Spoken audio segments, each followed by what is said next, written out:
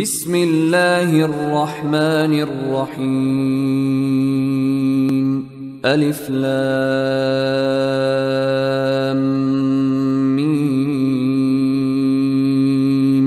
ذلك الكتاب لا ريب فيه. هدى للمتقين. الذين يؤمنون بالغيب ويقيمون الصلاة ومما رزقناهم ينفقون والذين يؤمنون بما أنزل إليك وما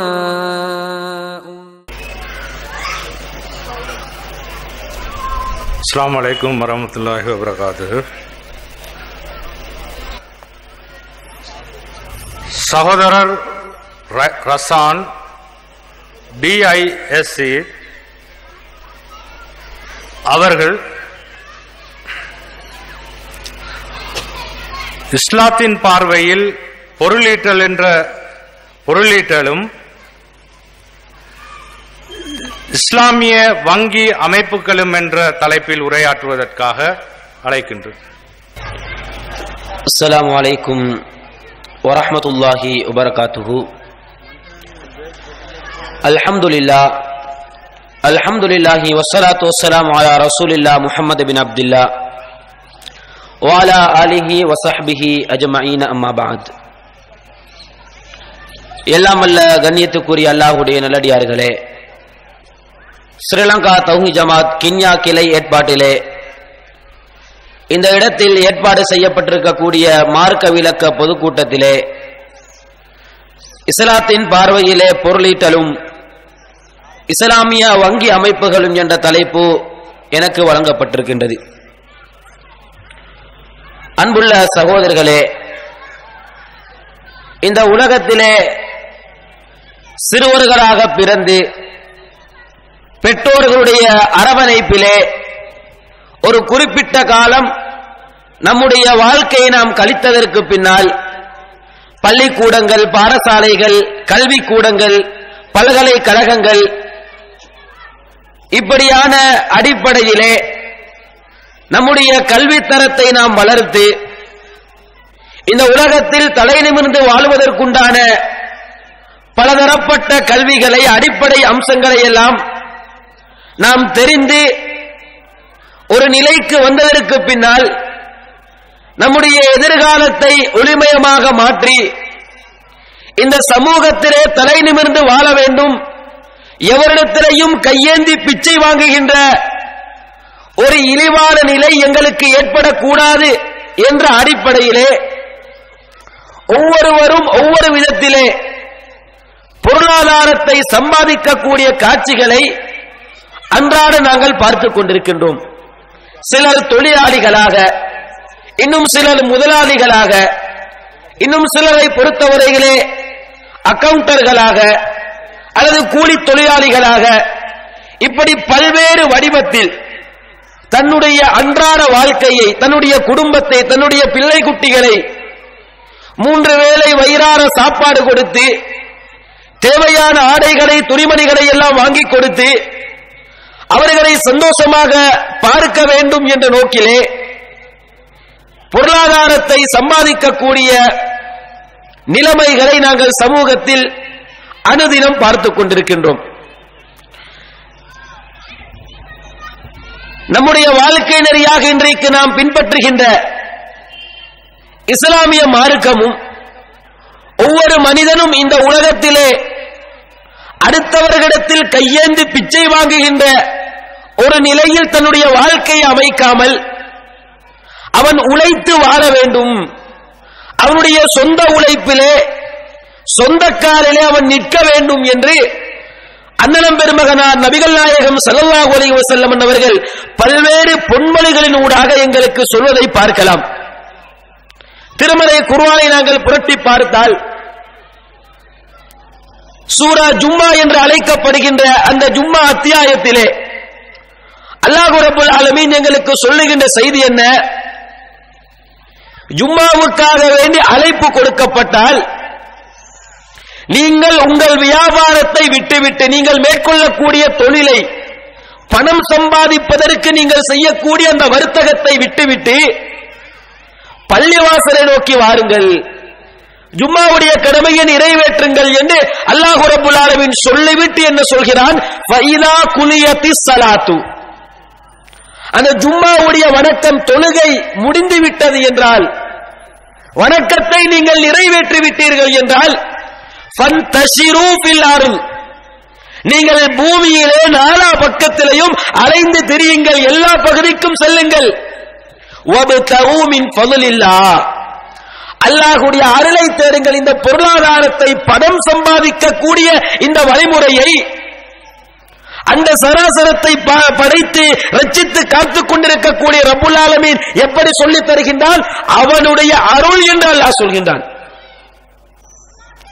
ஜும்மாவுடைய தினத்தில் பள்ளிக்கு வாருங்கள். அந்த தொழுகை வணக்க வழிபாட்டை நீங்கள் முடித்ததற்கு பின்னால் இந்த உலகத்தில் நீங்கள் பறந்து திரிந்து அல்லாஹுடைய அருளை சம்பாதித்துக் கொள்ளுங்கள் தொழில் செய்யுங்கள் வியாபாரம் செய்யுங்கள் என்று அல்லாஹ் ரப்புல் ஆலமீன் எங்களுக்கு மிக அழகாக சொல்லித் தருவதை பார்க்கலாம்.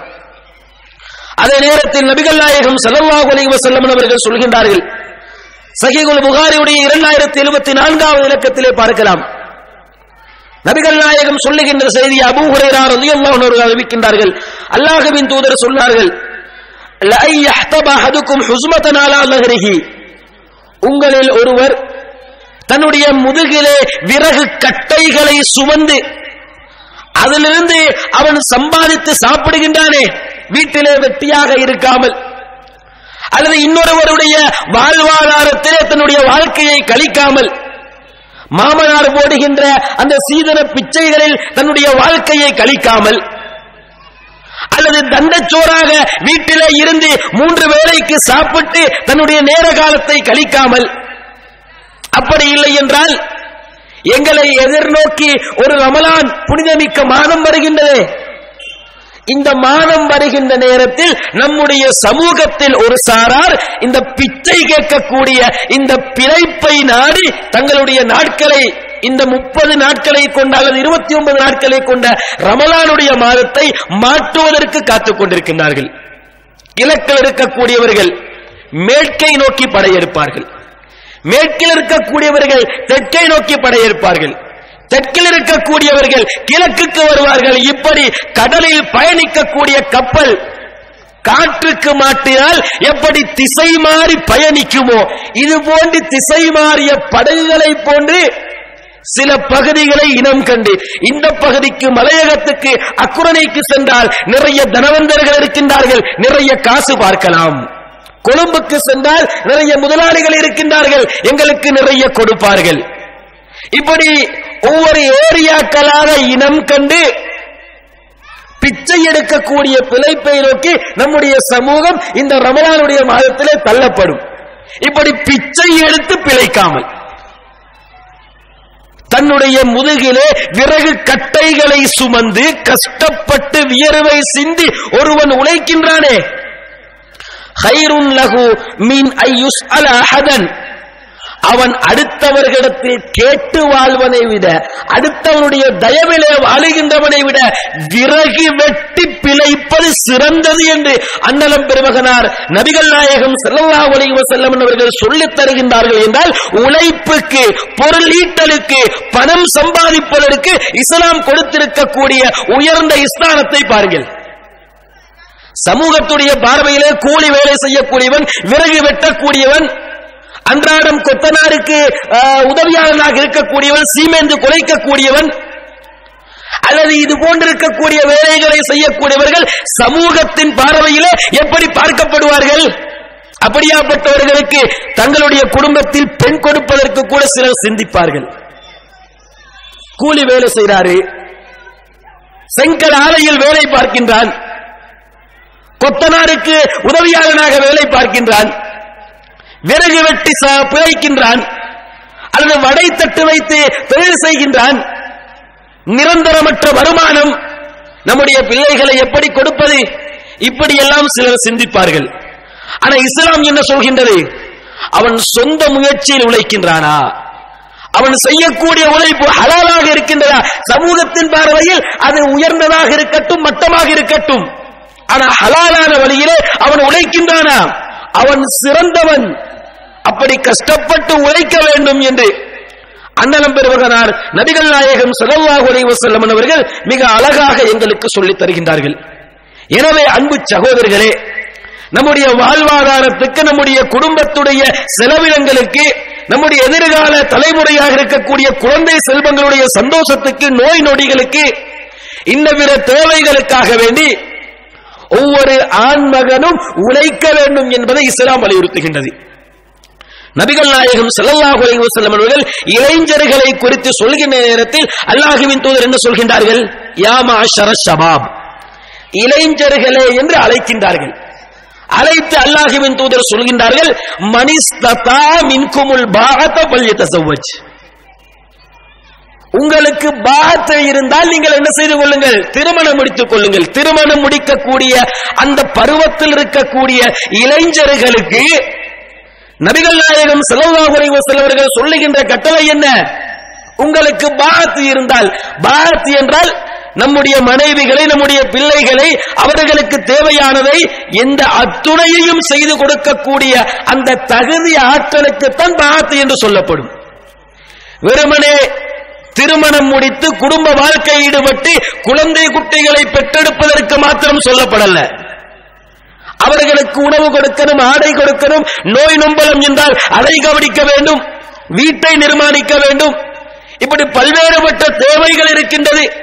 அந்த அத்துணையையும் சமாளிக்கக்கூடிய பொருளாதார அந்த தகுதியும் உடல் தகுதியும் இன்ன பிற அம்சங்களும் உங்களுக்கு இருக்கும் என்றால் நீங்கள் திருமணம் முடியுங்கள் என்று நபிகள் நாயகம் ஸல்லல்லாஹு அலைஹி வஸல்லம் அவர்கள் சொல்லித் தருகின்றார்கள்.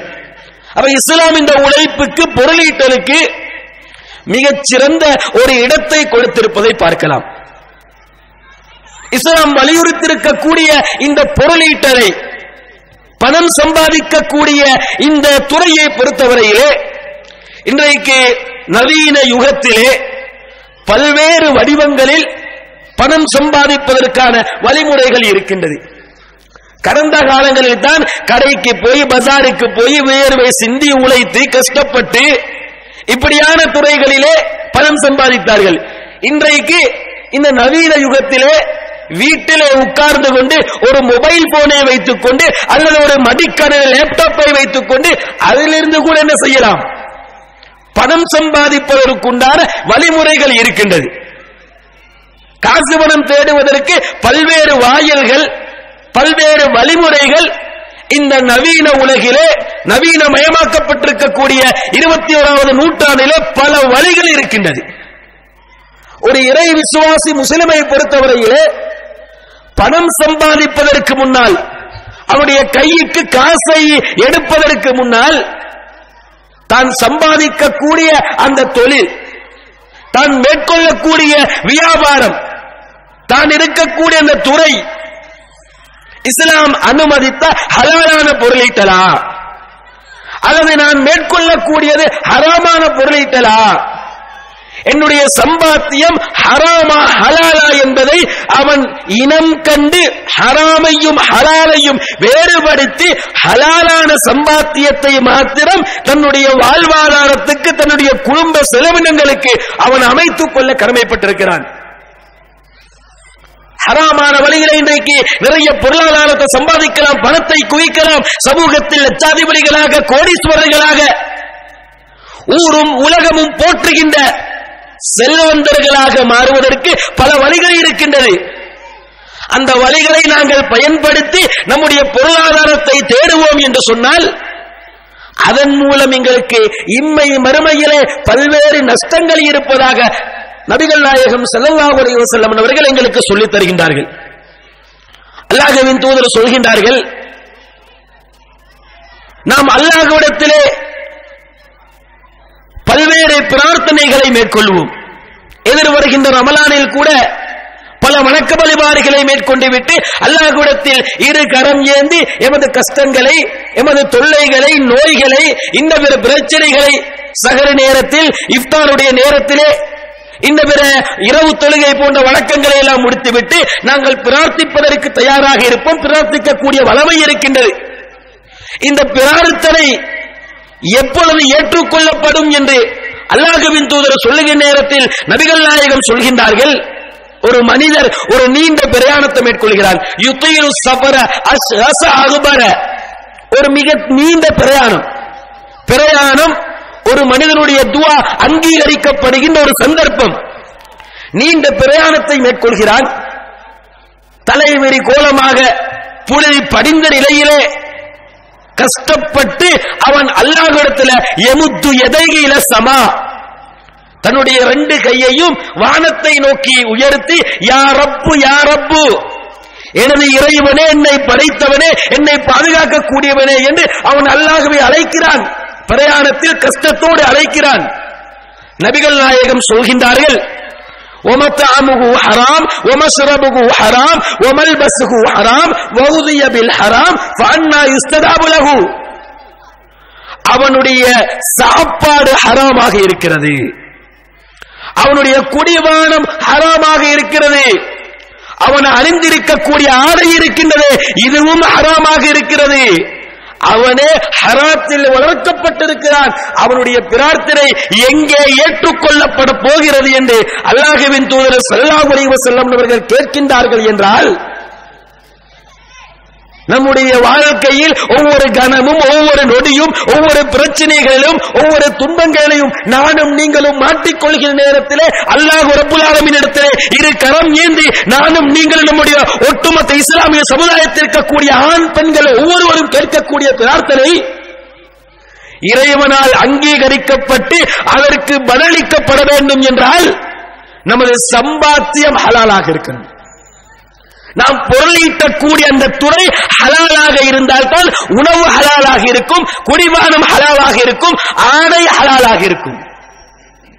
நம்முடைய பொருளாதாரம் பணம் சம்பாதிக்கக்கூடிய துறை நாம் முதலீடு செய்யக்கூடிய நிறுவனம் எல்லாமே வட்டியோடு சம்பந்தப்பட்டதாக ஏமாற்றத்தோடு சம்பந்தப்பட்டதாக அல்லது இஸ்லாம் தடுத்த போதை மது பாவனைகள் இது போன்ற அம்சங்களோடு சம்பந்தப்பட்ட பொருளாதாரமாக நம்முடைய பொருளாதாரம் அமையப்படும் என்றால் அதிலிருந்து நாங்கள் பெறக்கூடிய வருமானம் ஹராம்.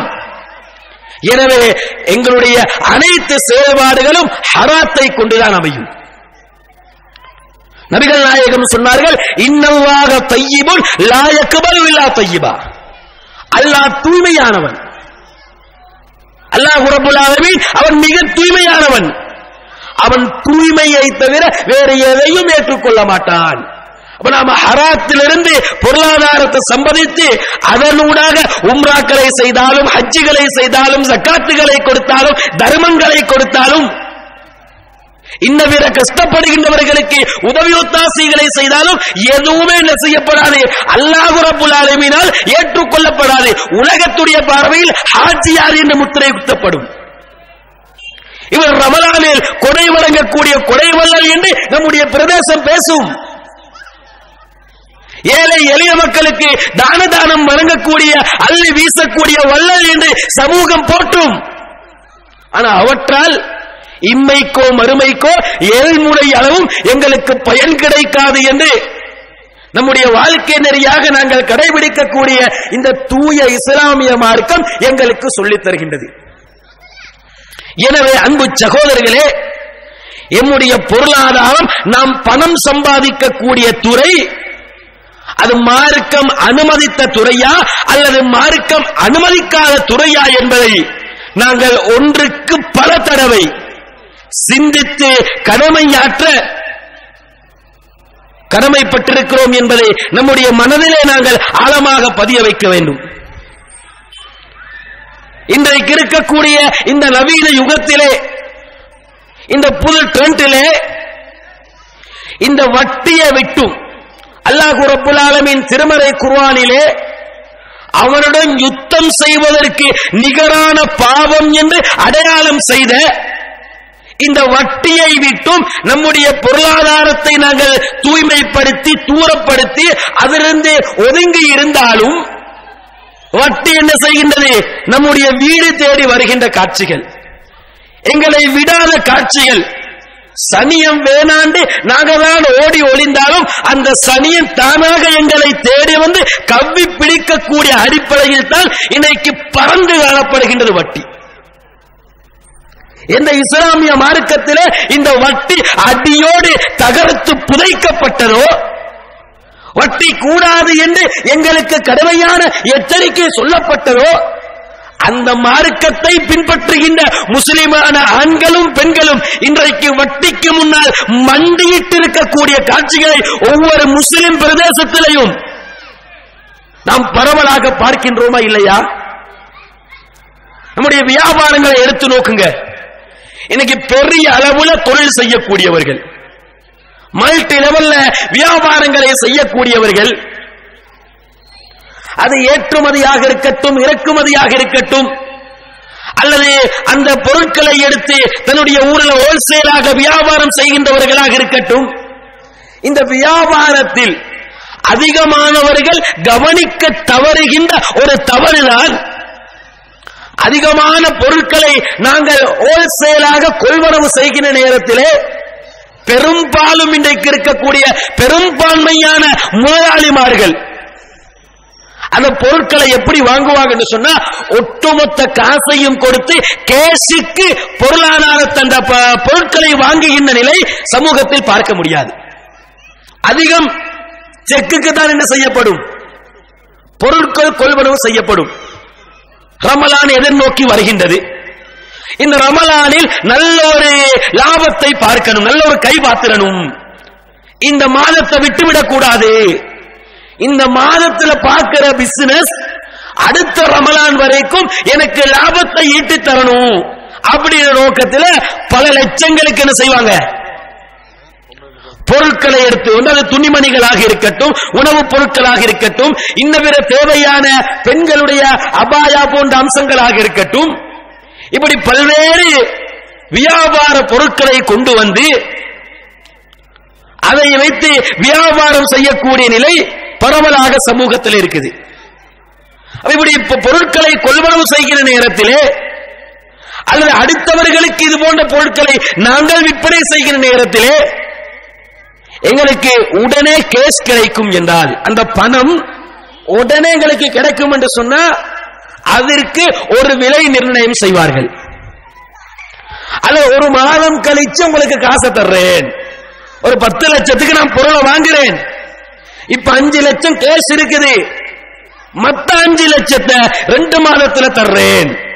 அதுல ஒட்டுமொத்த பணத்தையும் ரமலான் முடிந்ததற்கு பின்னால் அல்லது ஹஜ்ஜுக்கு பின்னால் இரண்டு மூன்று மாதங்கள் டேட்ட போட்டு அங்கே செக் கொடுக்கப்படும் என்றால் விலை சற்று அதிகரிக்கும். நூறுக்கு கொடுத்த பொருள் நூற்று பத்தாக இருக்கும் நூத்து அஞ்சாக இருக்கும் நூற்று இருபதாக இருக்கும். இந்த முறை பரவலாக எல்லா வியாபாரத்திலையும் காணப்படுகின்றதா இல்லையா?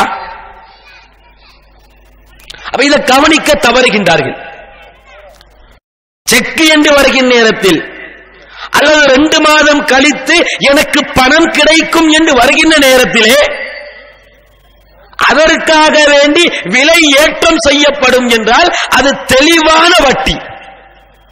நபிகள் நாயகம் சல்லா அலைஹி செல்லவர்கள் சொன்னார்கள் லா ரிபா இல்லா பின் நசியா இந்த வட்டி என்பது கடனிலே தவிர வேறு எதிரையும் இல்லை என்றார்கள் அல்லாஹின் தூதர்.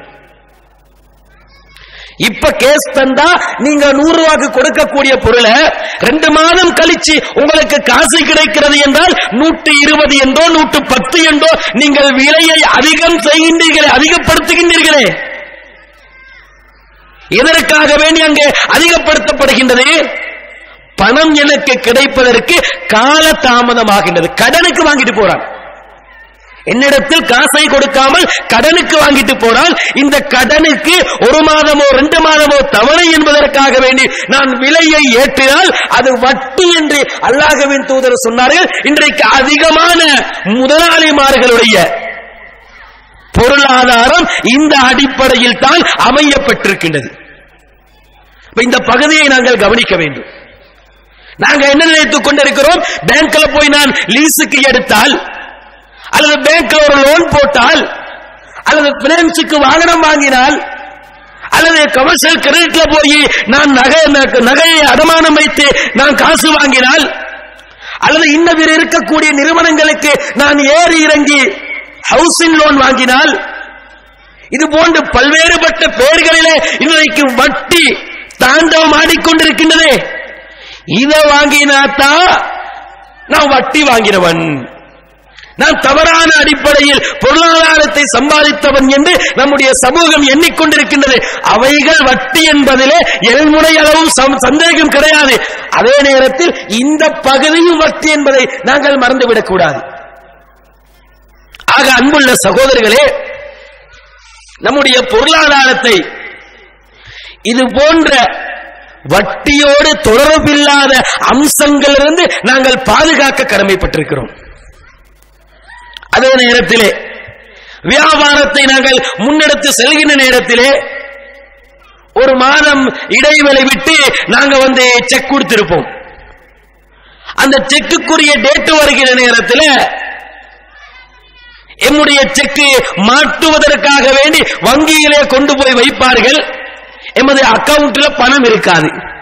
பிளாங்க் செக் கொடுத்திருப்போம். அக்கவுண்ட்ல பணம் இல்லாம நாங்க என்ன செஞ்சிருப்போம்? செக் எழுதி கொடுத்திருப்போம். அந்த குறித்த தினத்தில் அக்கவுண்டில் காசு போடுவதற்கு எம்மிடம் பொருளாதாரம் இருக்காது. அல்லது குறிப்பிட்ட ஒரு சிலங்களுக்கு பின்னால் எங்களுக்கு பொருளாதாரம் கிடைக்கும் என் நிலையில இருக்கும். இவங்களோட செக்க பாஸ் பண்ணுவதற்கு வங்கி என்ன கேட்கும்? ஓடி போட்டுறவா வங்கி கேட்குமா இல்லையா? எங்களோட அக்கவுண்ட்ல காசு இல்லை. நாங்க அதிகமாக வங்கியோடு தொடர்புல இருந்து எமது செக்குகள் சரியான முறையில போயிருக்கும் என்று சொன்னா அந்த நம்பகத்தன்மை எல்லாம் வச்சு வங்கி எங்கள்கிட்ட என்ன கேட்கும்? ஓடி கொடுத்துறவா? அவன் கொடுப்பான். அஞ்சு லட்சத்தையோ பத்து லட்சத்தையோ அவன் கொடுப்பான். அவனுக்கு நான் திருப்பி செலுத்துகிற நேரத்தில் நான் அதிகம் கொடுக்கணும். அந்த பத்து லட்சத்துக்கு அவன் சில வீதாசார அடிப்படையில் கணக்கு போட்டு என்னிடத்தில் அதிகமாக அறவிடுவான். அப்ப வியாபாரிகள் என்ன செய்வாங்க? பரவாயில்ல ஓடி கொடுத்துருங்க. அசால்ட்டாக. பயம் இல்லாமல் அச்சம் இல்லாமல் அல்லாஹோடு யுத்தம் செய்யக்கூடிய பாவமே மிகப்பெரிய தண்டனையை பெற்று தரக்கூடிய பாவமே நாளை மறுமையிலே நிரந்தர நரகத்திலே என்னை தள்ளி சுவர்க்கத்துடைய வாடையை கூட நுகரவிடாமல் தடுக்கக்கூடிய ஒரு ப- பயங்கரமான பாவமாக இருக்கிறது என்ற அந்த உணர்வு கூட இல்லாமல் இது போன்று ஓடி பாஸ் பண்ணி தங்களுடைய வியாபாரத்தை முன்னெடுக்கக்கூடிய தனவந்தர்களை முதலாளிகளை சமூகத்திலே அன்றாடம் பார்த்துக் கொண்டிருக்கிறோம். இது ஒரு புறம் இருக்க. இன்னொரு புறம் என்ன செய்வார்கள்? இன்னைக்கு வங்கிகள் வட்டியை ஒவ்வொரு குக்கிராமத்திலையும் ஒவ்வொரு வீடுகளுக்கும் கொண்டு போய் நுழைப்பதற்காக வேண்டி சில வழிமுறைகளை கையாளுகின்றார்கள். நம்முடைய வீடு தேடி வரும். அது கொமர்ஷியல் பேங்க்ல இருந்து வருவார்கள் எல்ஓஎல்சியில இருந்து வருவார்கள். பிஓசியில இருந்து வருவார்கள். இப்படி என்னென்ன வட்டி கடைகள் இருக்கின்றதோ அந்த ஒவ்வொரு வட்டி கடைகள் இருந்து பேங்குகள் இருந்து நம்முடைய வீடு தேடி வருவார்கள். வந்து பெண்களை அணுகி ஒரு மூன்று பேரு நான்கு பேரு ஐந்து பேராக என்ன செய்வார்கள்? சிறிய சிறிய குழுவை உருவாக்குவார்கள். மூன்று பேரை கொண்ட குழு. இந்த குழுவில் இருக்கக்கூடியவர்கள் ஒருவர் மற்றவருக்கு பொறுப்பு. இந்த மூன்று பேரும் சேர்ந்து கொமர்ஷியல் பேங்குடைய கமர்ஷியல் கிரெடிட் இருந்து ஒரு தொகையை என்ன செய்வார்கள்? கடனாக எடுப்பார்கள். அது மாதா மாதம் இவர்கள் கட்ட வேண்டும். கட்டுகிற நேரத்தில் அங்கே வட்டி கட்ட வேண்டிய ஒரு நிலைக்கு தள்ளப்படுவார்கள். அப்ப நாம தான் இந்த சனியில் இருந்து ஒதுங்கி இருந்தாலும் அந்த சனியில் என்ன செய்கின்றது? நம்முடைய வீடு தேடி வந்து கவ்வி பிடிக்கக்கூடிய நிலை. கணவன் வீட்டுல இருக்க மாட்டாரு. மனைவி என்ன பாப்பா? வீட்டுல சரியான கஷ்டம். இப்ப நோன்பு வருது. நோன்புக்கு நிறைய செலவு இருக்குது. நோன்பு கழிச்சு பெருநாள் இருக்குது. வீட்டுல ரெண்டு குமரப்புள்ள இருக்குது. மூணு பெண் பிள்ளைகள் இருக்கின்றார்கள். ஆடை எடுத்து கொடுக்க வேண்டும். பல்வேறு தேவைகள் இருக்கின்றது. கணவனுடைய பொருளாதாரத்தை பொறுத்தவரையிலே அன்றாடம் உழைக்கின்றார். கூலி வேலை செய்கின்றார். இதை வைத்து பிள்ளைகளுக்கு ஐம்பதாயிரம் அறுபதாயிரம் என்று அந்த பெருநாளை கொண்டாடுவதற்கு எங்களுக்கு பணம் தேவையாக இருக்கின்றது. அந்த பணத்துக்கு எங்கே போகிறது? காலடிக்கு வருகின்றது. அதுபோல வீடு தேடி காலடிக்கு பணம் வருகிறது. இதை வேண்டாம் என்று சொன்னால் பெருநாளை எப்படி சந்தோஷமாக கொண்டாடுவது? நம்முடைய கஷ்டத்தை எப்படி நிவர்த்தி செய்வது? மாதம் ஒவ்வொரு நாளும் நூறு என்று நூற்றி ஐம்பது என்று கணவனுடைய சம்பாத்தியத்தில் மிச்சம் பிடித்தால் மாதம் நான்காயிரம் ஐந்தாயிரம் என்றுதானே? அவர்களுக்கு நாங்கள் தவணை அடிப்படையில் செலுத்த வேண்டும். அது ஒன்றும் பெரிய காரியம் கிடையாது. ஈஸியாக செலுத்தி விடலாம் என்று பெண்கள் இன்றைக்கு வீடு தேடி வருகின்ற அந்த பேங்குடைய முகவர்களின் மூலமாக அவர்களுடைய பேச்சிலே கவரப்பட்டு வட்டி வாங்குகின்ற நிலை இந்த கிண்யா பிரதேசத்திலே முஸ்லிம்கள் அதிகம் செறிந்து வாழுகின்ற இந்த பிற பிரதேசங்களிலே இந்த முறை காணப்படுகின்றதா இல்லையா? வட்டி எங்களை விட்டபாடில்லை என்று சொல்லுகின்ற அளவுக்கு இது போன்று நம்முடைய சமூகம் அனுதினம் வட்டியிலே மூழ்கக்கூடிய காட்சிகள். அல்லது திடீரென்று பணம் தேவைப்படுகின்றது. ஏதாவது நோய் நொடிகள் ஏற்படுகின்றது.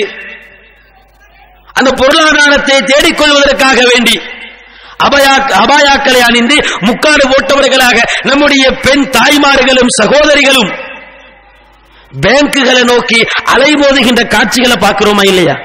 தங்களுடைய கழுத்திலே காதிலே கையில இருக்கக்கூடிய அந்த ஆபரணங்களை தங்க வளையல்களை வங்கியிலே அடகு வைத்து பணத்தை பெற்று வட்டியை சாப்பிடுகின்ற நிலை இந்த சமூகத்திலே வேரூண்டி காணப்படுகின்றது.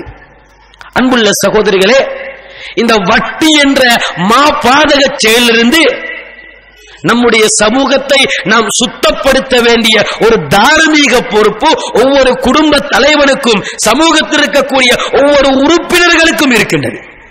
நாளை மறுமை வாழ்க்கை பாழாக கூடாது என்றால் அங்கே நரக படுகொலையிலே நாங்கள் தண்டனை அனுபவிக்க கூடாது என்றால் உயர்தரமான ஜன்னத்தில் பிரதோசுடைய சொந்தக்காரர்களாக நானும் நீங்களும் இந்த நாட்டிலே வாழுகின்ற உலகத்தில் வாழுகின்ற ஒவ்வொரு இஸ்லாமிய தாயும் சகோதர சகோதரிகளும் ஜன்னத்தில் பிரதோசுடைய சொந்தக்காரர்களாக இருக்க வேண்டும் என்றால் இந்த வட்டியிலிருந்து எங்களை நாங்கள் பாதுகாக்க கடமைப்பட்டிருக்கின்றோம். அதே நேரத்தில் அங்குள்ள சகோதரிகளே நம்முடைய வியாபாரத்தில் வட்டி கலப்படமாகாமல் நம்முடைய வியாபாரங்களை அமைக்க வேண்டும் என்று இஸ்லாம் எங்களுக்கு போதிக்கின்றது. ஆனால் முஸ்லிம் தனவந்தர்களை வர்த்தகர்களை தொழிலாளிகளை முதலாளிகளை எடுத்து நோக்கினால் அவர்களுடைய வியாபாரம் தொழில் வட்டியோடு சம்பந்தப்பட்டதாக இருக்கின்றது. இந்த வட்டியிலிருந்து எமது மக்களை பாதுகாக்க வேண்டும் என்ற அந்த ஒரு குறிக்கோளை முன்னிலைப்படுத்தியவர்களாக ஆங்காங்கே இஸ்லாமிய நிதி நிறுவனங்கள் இஸ்லாமிய வங்கி சேவைகள் அல்லது முஸ்லிம் இஸ்லாமிக் எக்கனமிக் பேங்க் இப்படி என்ற பல்வேறுபட்ட பேர்களிலே நம்முடைய நாட்டிலையும் அண்டை நாடுகளிலையும் ஒட்டுமொத்த உலகத்திலையும் இஸ்லாமிய பேங்கிங் சிஸ்டம் என்ற அடிப்படையில் இஸ்லாமிய நிதி சேவைகள் இஸ்லாமிய வங்கிகள் அறிமுகம் செய்யப்பட்டிருக்கக்கூடிய காட்சிகளை நாங்கள் பார்க்கிறோம். இதை மக்கள் மத்தியிலே ஊக்குவிப்பதற்காக வேண்டி. திடீரென்று பாரம்பரிய வங்கிகள் இருக்கின்றது.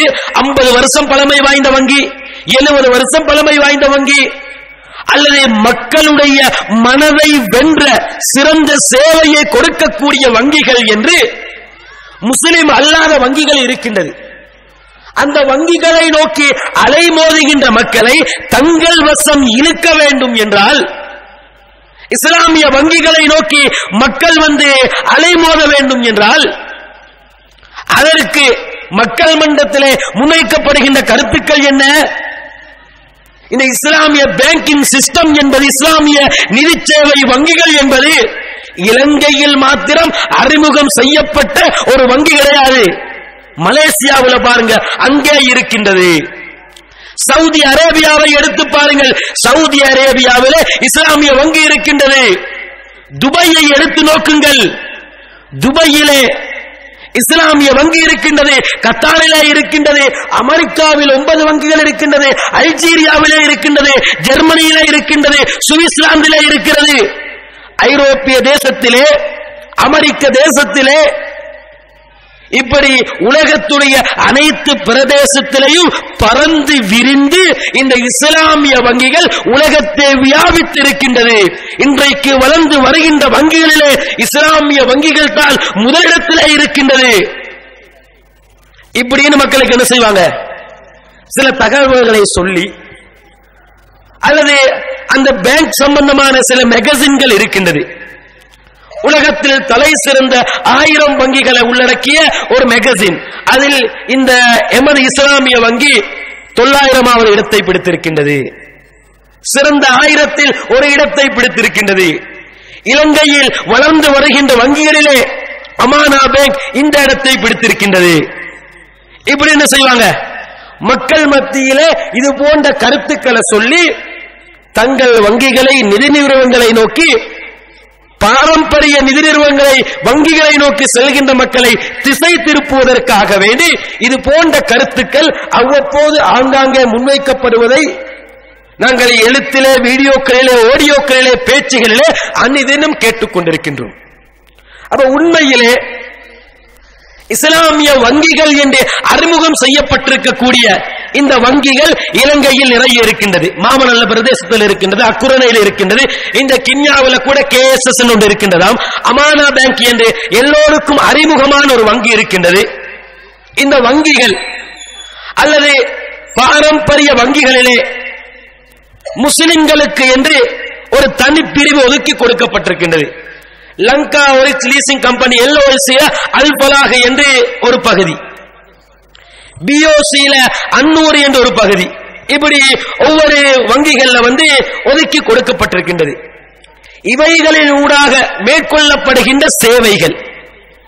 இவர்கள் கொடுக்கக்கூடிய அந்த நிதி சேவைகள் குர்வானுக்கும் ஹதீஸுக்கும் நூறு வீதம் உட்பட்டதா? அல்லது குர்ஆன் ஹதீஸை விட்டும் இது தூரமானதா என்பதை ஒவ்வொரு முஸ்லிமும் அறிந்து கொள்வது தார்மீக கடமை.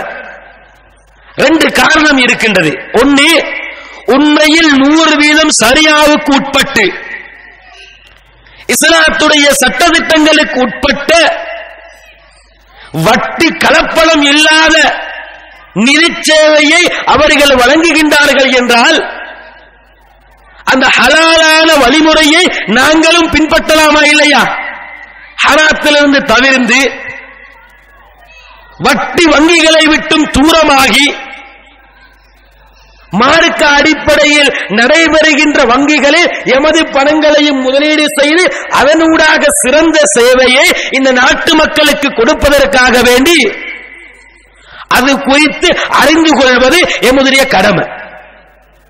அப்படி இல்லை என்று சொன்னா ஏனைய பாரம்பரிய வங்கிகள் எப்படி மக்களிடமிருந்து இன்ட்ரெஸ்ட் அல்லது வட்டி என்ற பெயரிலே அந்த வட்டியை சுரண்டுகின்றார்களே இது போன்று இவர்களும் இஸ்லாமிய முலாம் பூசி இஸ்லாமிய சாயம் பூசி அவர்களுடைய செயல்பாட்டை சமூகமயப்படுத்தி பொருளாதாரத்தை சம்பாதிப்பதற்காக வேண்டி இஸ்லாத்தை துரும்பு சீட்டாக பயன்படுத்துகின்றார்களா இல்லையா என்பதை அறிந்து கொள்வது நம்முடைய கடமை. இந்த இஸ்லாமிய நிதி நிறுவனம் அதை இஸ்லாமிக் பேங்கிங் என்று சொல்கின்றவர்கள் ஒவ்வொரு பகுதியை நாங்கள் எடுத்து நோக்கினோம் என்று சொன்னா அது பாரம்பரிய வங்கிகள் இருக்கக்கூடிய பிரிவுகளாக இருந்தாலும் அது மொத்தமாக இஸ்லாமிக் பேங்க் என்று தங்களை அறிமுகம் செய்திருக்கக்கூடியவர்களாக இருந்தாலும் எல்லோரிடத்திலையும் காணப்படுகின்ற சிஸ்டம் ஒண்ணுதான். ஒரு அமைப்பில் தான் செயல்படுவார்கள். ஆனா உள்ளுக்குள்ள சின்ன சின்ன இருக்கும்? வித்தியாசங்கள் இருக்கும். இதில் இவர்கள் வழங்குகின்ற அந்த சேவைகளை நாங்கள் பார்த்தோம் என்று சொன்னால் கிட்டத்தட்ட ஒரு பதினொன்று பன்னிரண்டுக்குட்பட்ட சேவைகளை அவர்கள் வழங்குவார்கள். அதில் பிரதானமாக ஒரு அஞ்சு ஆறு சேவைகள். நிறைய சேவைகள் இருந்தாலும் நிறைய அரபு பேர்களை அவர்கள் வைத்து அதை பட்டியலிட்டு வைத்திருந்தாலும் அதிகம் பயன்படுத்தப்படுகின்ற அந்த சேவைகள் என்பது ஒரு அஞ்சு ஆறுக்குள்ள இருக்கும். அந்த முக்கியமானதை மாத்திரம் இந்த இடத்தில் நம்ம விரிவாக பார்ப்போம். அதில் அவர்கள் பிரதானமாக வைத்திருக்கக்கூடிய ஒரு வழிமுறைதான் முலாரபா என்ற ஒரு சிஸ்டத்தை சொல்லுவாங்க. நீங்க அந்த பெயர்களை எடுத்து நோக்கி நீங்க சொன்னா மத்த மத்த அமைப்புகள்ல வந்து லீஸ் என்றுவான் அல்லது லோன் என்று சொல்லுவான் அல்லது கொமர்ஷியல் கிரெடிட் என்று சொல்லுவான் அல்லது ஹவுசிங் லோன் என்று சொல்லுவான். இப்படி ஒவ்வொரு பேர்ல இருக்கும்.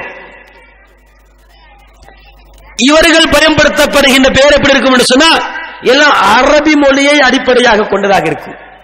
நம்முடைய சமூகத்திலையும் ஒரு நோய் இருக்கிறதா இல்லையா? எதை சொன்னாலும் வழிகேட்ட சொன்னாலும் நாலு அரபு வரிய படிச்சு சொன்னிட்டு வைங்களே அது சத்தியம் என்று நம்பிடுவாங்க. தர்கா வணங்கக்கூடியவனும் என்ன செய்வான்? தன்னுடைய தர்கா வழிபாட்டுக்கு தான் மண்டியிடுகின்ற அந்த தர்கா வழிபாட்டை ஆதரிப்பதற்காக வேண்டி ரெண்டு குருவாவசனத்தை ஓதி நாலு அரபு வார்த்தைகளை படித்து சொல்லிவிட்டான் என்று சொன்னால் நம்முடைய சமூகம் என்ன செய்யும்? சரிதானே? குருநாத தானே ஓதுறாரு. அரபிய தானே சொல்றாரு. இப்ப நம்பிட்டு போயிருவாங்க. அவ சமூகத்தில் இதை இலகுவாக திணிக்க வேண்டும் என்றால் சமூக மயப்படுத்தப்பட வேண்டும் என்றால் அரபு பேர்களை வச்சா நம்முடைய சமூகம் என்ன செஞ்சிடும்? அதை லேசாக உள்வாங்கிக் கொள்ளும். உள்ளத்தில் ஆழமாக பதிய வைக்கப்படும். அதற்கு இந்த அரபு பெயர்கள். முலாரபா முராபகா இஜாரா முஷாரகா இப்படியான பெயர்களை வச்சிருப்பாங்க. அதுல முதலாவது முலாரபா என்ற ஒரு சிஸ்டம் அவர்களிடத்தில் காணப்படுகின்றது. முலாரபா என்று சொன்னால் கூட்டு வியாபாரம். பலர் முதலீடு செய்து மேற்கொள்ளுகின்ற ஒரு கூட்டு வியாபாரம். ஒரு இஸ்லாமிக் நிதி நிறுவனம் இருக்கும். அல்லது ஒரு முதலீட்டு நிறுவனம் இருக்கும்.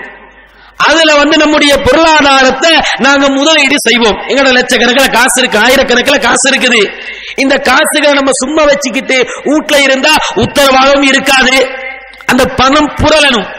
பணம் புரள புரளத்தான் லாப நஷ்டம் என்று நம்முடைய பொருளாதாரம் அதிகரிக்கும். அப்ப நிறுவனங்கள் என்ன செய்வாங்க? எங்கட நிறுவனத்துல கொண்டு வந்து முதலீடு செய்யுங்க. நாங்க அதை வச்சு தொழில் செய்து உங்களுக்கு லாபம் தருகின்றோம் வருமானம் தருகிறோம் என்று சொல்லுவாங்க. நம்முடைய சமூகத்தில் சில பேரிடத்துல இந்த சோம்பேறி நோய் இருக்கின்றது. கையில் ஒரு அஞ்சு லட்சம் பத்து லட்சம் காசு இருந்துடுவீங்க ஒரு வியாபாரிய அணுகி கேட்பாங்க அஞ்சு ரூபா காசு இருக்குது பத்து ரூபா காசு இருக்குது. இந்த லட்சங்கள் எப்படித்தானே யூஸ் பண்ணுவாங்க? ஒரு ரூபா ரெண்டு ரூபான்னு தான் யூஸ் பண்ணுவாங்க. ஒரு ரூபாய் இருக்கிறது என்றால் ஒரு லட்சம் என்ற அர்த்தம். அப்ப ஒரு அஞ்சு ரூபா பத்து ரூபா காசு இருக்குது. இது உங்களோட தொழில நான் முதலீடு செய்கிறேன் உங்களுக்கு நான் எனக்கு காசு தர்றேன். எனக்கு மாதம் எவ்வளவு கொடுப்பீங்க? அவர் என்ன சொல்லுவாரு? அஞ்சு லட்சம். ஒரு லட்சத்துக்கு அஞ்சாயிரம் மேனி நான் உங்களுக்கு இருபத்தையாயிரம் தர்றேன். ஒரு லட்சத்துக்கு ஆறாயிரம் மேனி உங்களோட பத்து லட்சத்துக்கு நான் அறுபதாயிரம் தர்றேன். இவரும் என்ன பாப்பாரு என் காசு பத்து லட்சம் அவர்கிட்ட இருந்தா இருந்த மாதிரி இருக்கும். எனக்கு மாதா மாதம் அறுபதாயிரம் வரும். மாதா மாதம் ஐம்பதாயிரம் வரும். உட்கார்ந்துட்டே சாப்பிடலாம். இப்படியான நிறைய சோம்பேறிகள் நம்முடைய சமூகத்தில் இருக்கத்தான் செய்வார்கள்.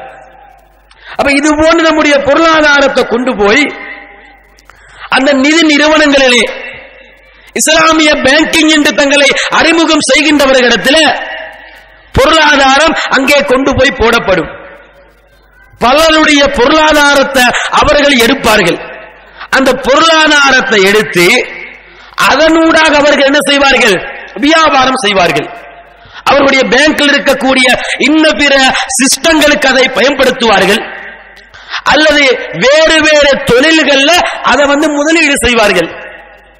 வேறு கம்பெனிகள் தேயில ஃபேக்டரி இருக்கும் பிஸ்கட் ஃபேக்டரி இருக்கும். இப்படி முஸ்லிம்களால் நடத்தப்படுகின்ற அல்லது அதிக வருமானம் கிடைக்கக்கூடிய அந்த தொழில் என்று இருக்கக்கூடிய அந்த தொழில்களை கம்பெனிகளை தொழிற்சாலைகளை இனம் கண்டு அவற்றில் இந்த காசு முதலீடு செய்யப்படும். நாங்க வந்து பேங்க்ல போடுவோம். அல்லது இஸ்லாமிய நிதி சேவை என்று தங்களை அடையாளம் செய்கின்றவர்களிடத்தில் எங்களுடைய லட்சக்கணக்கான ஆயிரக்கணக்கான அந்த பணங்களை எல்லோரும் கொண்டு போய் போடுவோம் முதலீடு செய்வோம். அதை வச்சு அவர் முயற்சியாளர். அவருக்கு பேரு முயற்சியாளர். பேங்க் முயற்சியாளர். நாங்க முதலீட்டாளர். முதலீட்டாளருக்கு ரப்புல் மால் என்று சொல்லுவார்கள். அப்ப எங்களுடைய அந்த பணத்தை வைத்து அவர்கள் செய்யக்கூடிய தொழில வியாபாரத்திலே கிடைக்கக்கூடிய வருமானம் இருக்கிறதா இல்லையா? இந்த வருமானத்தை ரெண்டாக பிரிப்பாங்க.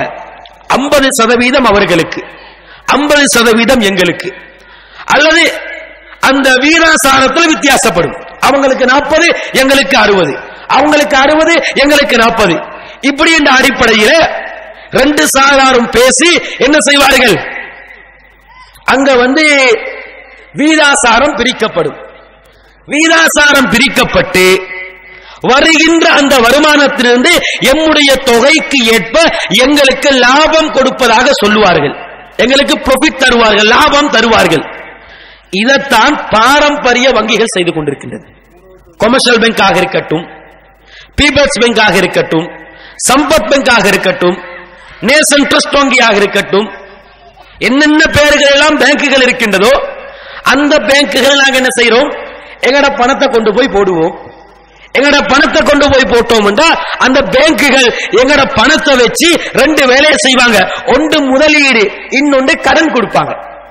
பேங்க்ல யாரு காசு கேட்டு போறாங்களோ அடகுக்கு பணம் கேட்கின்றார்களோ அல்லது வீட்டு பத்திரங்களை வைத்து வங்கியிலே கடன் கேட்கின்றார்களோ இவர்களுக்கு கடன் கொடுப்பார்கள் ஒன்று. அந்த கடன்ல பல மடங்கு பத்து வீதம் எட்டு வீதம் பன்னிரண்டு வீதம் என்று அங்கே வட்டி அறவிடப்படும் அல்லது என்ன செய்வார்கள்? அந்த பணத்தை பெரிய பெரிய தொழில் நிறுவனங்களிலே இவர்கள் முதலீடு செய்து அதிலிருந்து லாபத்தை எடுப்பார்கள். வருகின்ற லாபத்தை பங்கு பிரித்து பணம் போட்டவர்களுக்கு ஒரு பகுதியும் வங்கி ஒரு பகுதியும் எடுக்கும். இதுதான் எல்லா பேங்குகளிலையும் நடைபெறுகின்ற முறையாக இருக்கின்றது. இஸ்லாமிய பேங்க்லையும் இந்த முறைதான் அமுலே இருக்கின்றது. அவன் தெளிவாக இன்ட்ரெஸ்ட் வட்டி என்று சொல்லி அவன் காசை கொடுக்கிறான்.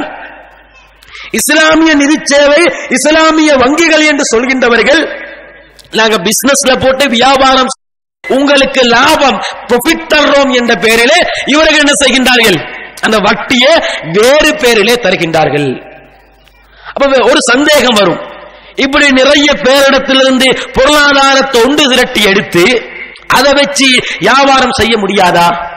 பிசினஸ் செய்ய முடியாதாண்டா? நிச்சயம் பிசினஸ் செய்யலாம்.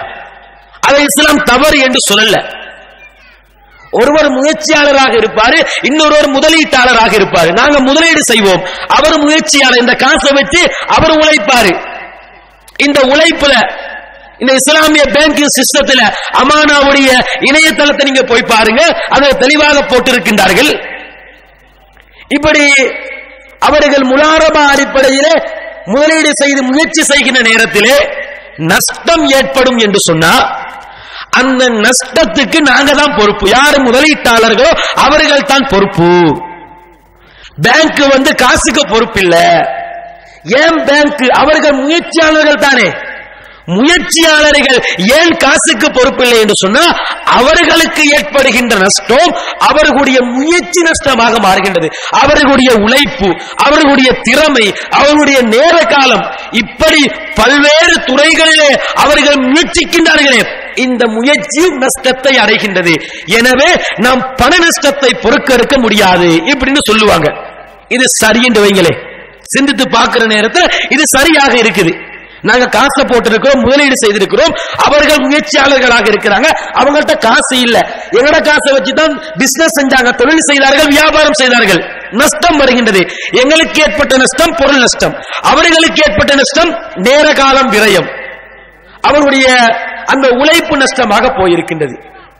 ஆனா இப்படி சொல்லுகின்ற எந்த இஸ்லாமிய பேர் பூசப்பட்ட எந்த வங்கியும் நஷ்டத்தை கணக்கு காட்ட மாட்டாங்க. எப்போ லாபமா தான் இருக்கும்.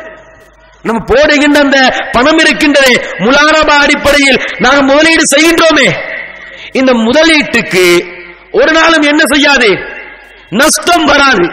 எப்ப பாரு லாபம் ப்ராஃபிட் வந்துகிட்டே இருக்கும். அது என்னப்பா வியாபாரம்? எங்கிருந்து கண்டுபிடிச்சாங்களோ தெரியாது. அந்த நிதி சேவைகள் அந்த இஸ்லாமிய வங்கிகள் என்ற பெயரிலே தங்களை சமூகத்தில் அடையாளம் செய்திருக்கக்கூடியவர்கள் எங்களுக்கும் கொஞ்சம் லா- நஷ்டமில்லாத வியாபாரத்தை காட்டி தந்தாங்கன்னா எங்களுக்கும் லேசா பணக்காரனாயிட்டு போலாம். அவங்கள்ட்ட என்ன வராது? நஷ்டம் என்பதே வராது. இப்ப என்ன செய்யறாங்கன்னு தெரியாது.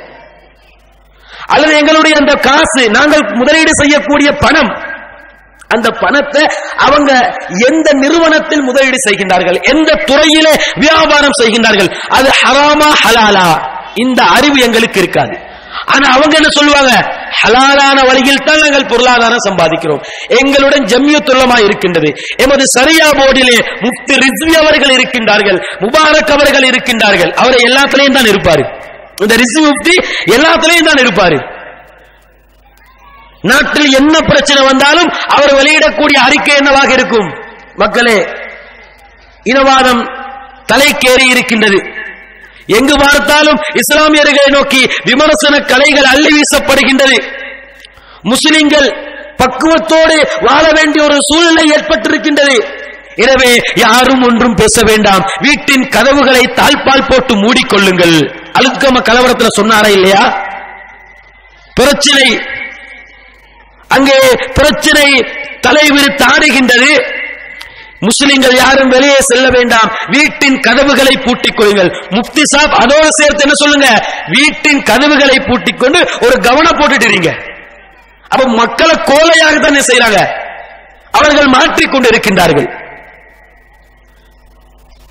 இப்ப அண்மையில வெளியிடப்படுகின்ற அறிக்கை என்ன? எல்லாரும் குனு தோதுங்க. பிரச்சனை தலை தூக்கி இருக்கின்றது. ரமலான் மாதம் எதிர்நோக்கி கொண்டிருக்கின்றது.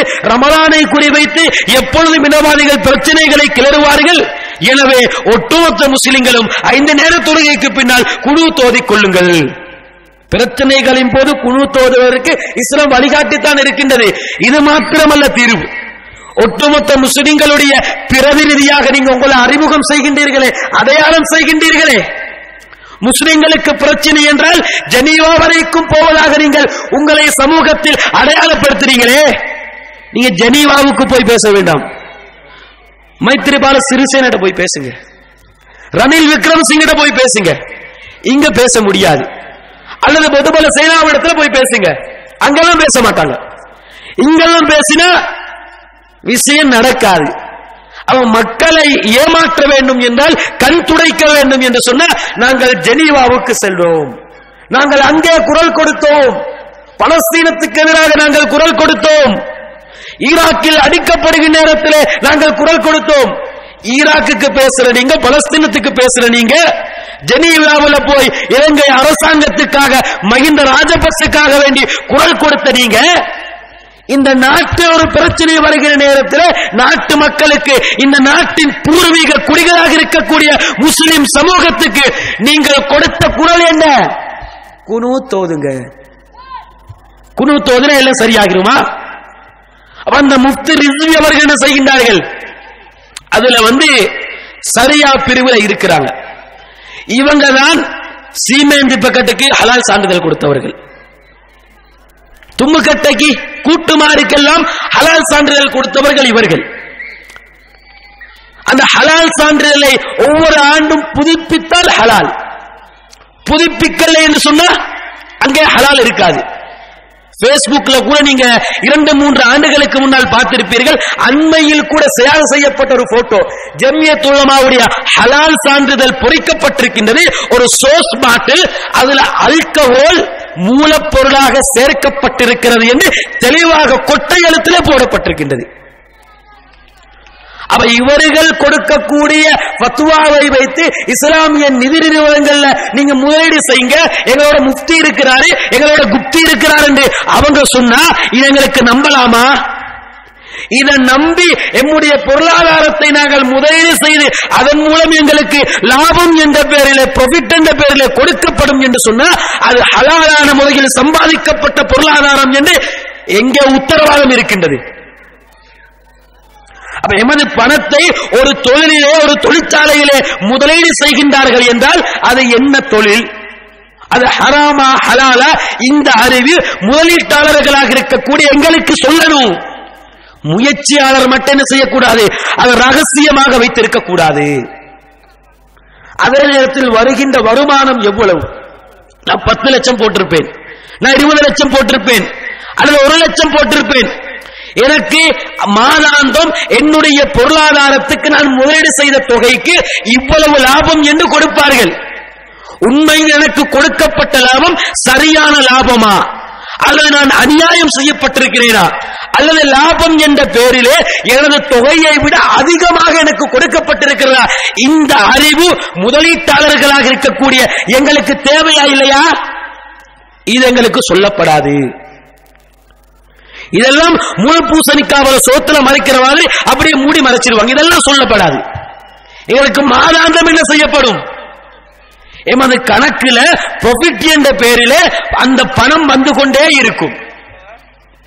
நஷ்டமில்லாத வியாபாரம். அவன் இன்ட்ரெஸ்ட் என்ற பெயரில் வட்டி என்ற பெயரில் தெளிவாக கொடுக்கிறான். இவர்கள் வட்டிய வேறு பேர்ல ப்ரொஃபிட் என்ற பெயர் என்ன செய்கின்றார்கள்?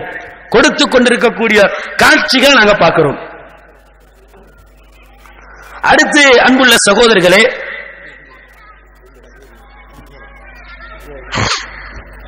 நம்முடைய இந்த பொருளாதாரத்தை நாங்கள் மூலதனமாக வைப்பிடக்கூடிய இந்த பொருளாதாரத்தை வச்சு ஒன்று இந்த முலாரபா என்ற அடிப்படையில் என்ன செய்கின்றார்கள்? வியாபாரம் செய்கின்றார்கள். அதிலையும் தெளிவான வட்டி இருக்கின்றது. வட்டி என்று இல்லாமல் வேறு பேரில் அதை பயன்படுத்துகின்றார்கள். இரண்டாவது முராபகா என்று என்ன செய்வார்கள்? முலாரபா என்றது முதல் முறை. இரண்டாவது முராபகா என்ற அடிப்படையிலே ஒரு சிஸ்டத்தை அறிமுகம் செய்திருக்கின்றார்கள். இந்த முராபகா என்ற சிஸ்டத்தை பொறுத்தவரையிலே இதுல என்ன செய்யப்படும் என்று சொன்னா எனக்கு ஒரு பொருளை வாங்கணும்.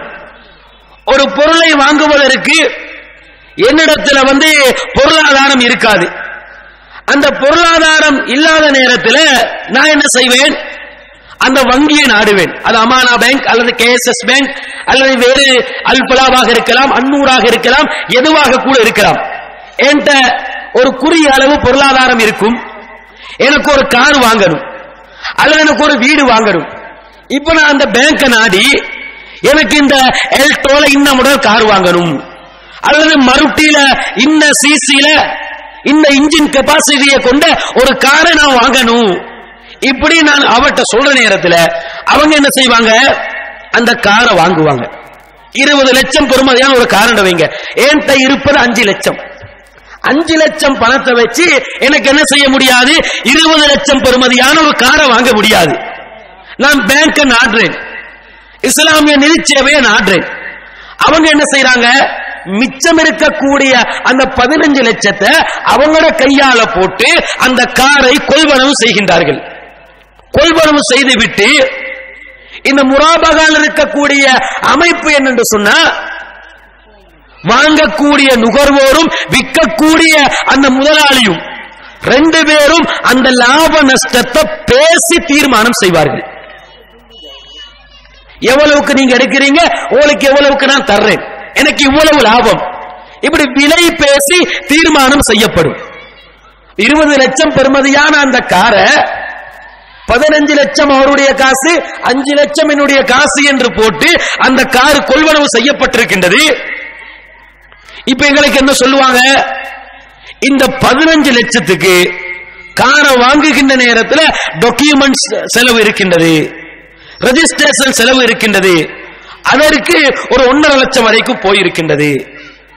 எம்முடைய லாபமாக இந்த பதினஞ்சு லட்சத்தை நீங்க என்ன செய்ய போறீங்க? அஞ்சு வருஷத்துல திருப்பி தருவீங்க. அல்லது நாலு வருஷத்துல திருப்பி தர போறீங்க அப்ப நாங்க ஒரு ப்ராஃபிட் வைக்கணுமா இல்லையா? எங்களுக்கு ஒரு லாபம் இருக்கணுமா இல்லையா? ரெண்டு பேரும் லாபத்தை பேசித்தானே தீர்மானிக்கிறாங்க. எனவே எங்களோட பதினஞ்சு லட்சத்துக்கு நாங்க வைக்கக்கூடிய ப்ராஃபிட் ஒரு மூணு லட்சம். அந்த செலவு வந்து ஒரு ஐம்பதாயிரம். எனவே ஒட்டுமொத்தமாக அஞ்சு லட்சம் மேலதிகமாக போயிருக்கின்றது இருபது லட்சம். இந்த இருபது லட்சத்தை நீங்க அஞ்சு வருஷத்துக்கு பன்னிரண்டு மாதம் அறுபது தவணையில கட்டி முடிச்சிருங்க. இதுக்கு பேரு முராபஹா. ரெண்டு சாராரும் லாபத்தை பேசி தீர்மானிப்பது. இது தெளிவான வட்டியாக தெரியலையா? நபிகள் நாயகம் சல்லல்லாவுடைய சொன்னார்கள்? லா ரிபா இல்லா பின் நசியா வட்டி என்பது கடனிலே தவிர வேறு எதிலையும் இல்லை. ஏன்ட்ட பதினஞ்சு லட்சம் காசு இருந்தா நான் உன்னை தேடி வர வேண்டிய தேவை இல்லை. நானே இருபது லட்சம் காசை கொடுத்து அந்த காரை வாங்குவேன் அந்த வீட்டை வாங்குவேன் எனக்கு தேவையான பொருளை வாங்குவேன் எனக்கு தேவையான லேண்டை வாங்குவேன் எனக்கு ஒரு போட் தேவையா? போட்டை வாங்குவேன். என்ன எனக்கு தேவையோ? தேவைப்படுகின்ற பொருளை என்னிடம் காசு இருந்தால் நான் வாங்கி இருப்பேன் உன்னை நான் ஏன் நாடினேன்? என்னோட காசு போதா? நான் வாங்குவதற்கு தயாராக இருக்கக்கூடிய அந்த பொருளின் விலை அதிகமாக இருக்கின்றது என்னிடம் இருக்கக்கூடிய பணமோ குறைவாக இருக்கின்றது அந்த பணப்பற்றாக்குறைக்கு நான் உங்களை அணுகிறேன். ஒருவனுடைய இயலாமையை ஒருவருடைய பொருளாதார அந்த மந்த தன்மையை அடிப்படையாக வைத்து அந்த கடனுக்கு ஒரு பதினஞ்சு லட்சம் கொடுக்கிறாரே அதற்கு மேலதிகமாக ஒத்த பைசா வாங்கினாலும் அதற்கு பேரு வட்டி என்று அல்லாஹுவின் தூதர் செல்லா குறைவ செல்லவர்கள் மிக தெளிவாக சொல்லிட்டார்கள். இத வேறு வேறுல முராபகா என்ற பெயரிலே வட்டிய வேறு பேரு மாத்தி வாங்கக்கூடிய காட்சியை இன்னைக்கு சமூகத்தில் நாங்கள் பார்க்கின்றோமா இல்லையா? நம் நாம் செலுத்துகின்ற அந்த தவணை அஞ்சு வருஷமாக இருந்தா ஒரு அமௌண்டாக இருக்கும். நாலு வருஷமாக இருந்தால் அவர்களுடைய ப்ராஃபிட் குறையும். ரெண்டு வருஷத்தில் செலுத்துவதாக இருந்தால் அவர்கள் வைக்கக்கூடிய லாபம் இன்னும் குறையும். அப்ப காலம் மாற மாற நாம் செலுத்த வேண்டிய அந்த தொகை கூடி குறைகிறது என்றால் இதைத்தானே நாங்க வேறு வங்கிகள்ல பார்க்கிறோம். இதைத்தானே கொமர்ஷியல் பேங்க்ல பார்க்கிறோம். இதைத்தானே பிஓசில பார்க்கிறோம். இதைத்தானே சில செய்யறான் அப்ப நீங்க என்ன செய்றீங்க? இஸ்லாமிய சாயத்தை பூசி இஸ்லாமிய மயமாக்கி இந்த வட்டிய வேறு பேர் என்ன செய்கின்றீர்கள்? மக்களை ஏமாற்றி வாங்கக்கூடிய இந்த கயமைத்தனமான காரியத்தை செய்து கொண்டிருக்கின்றார்கள்.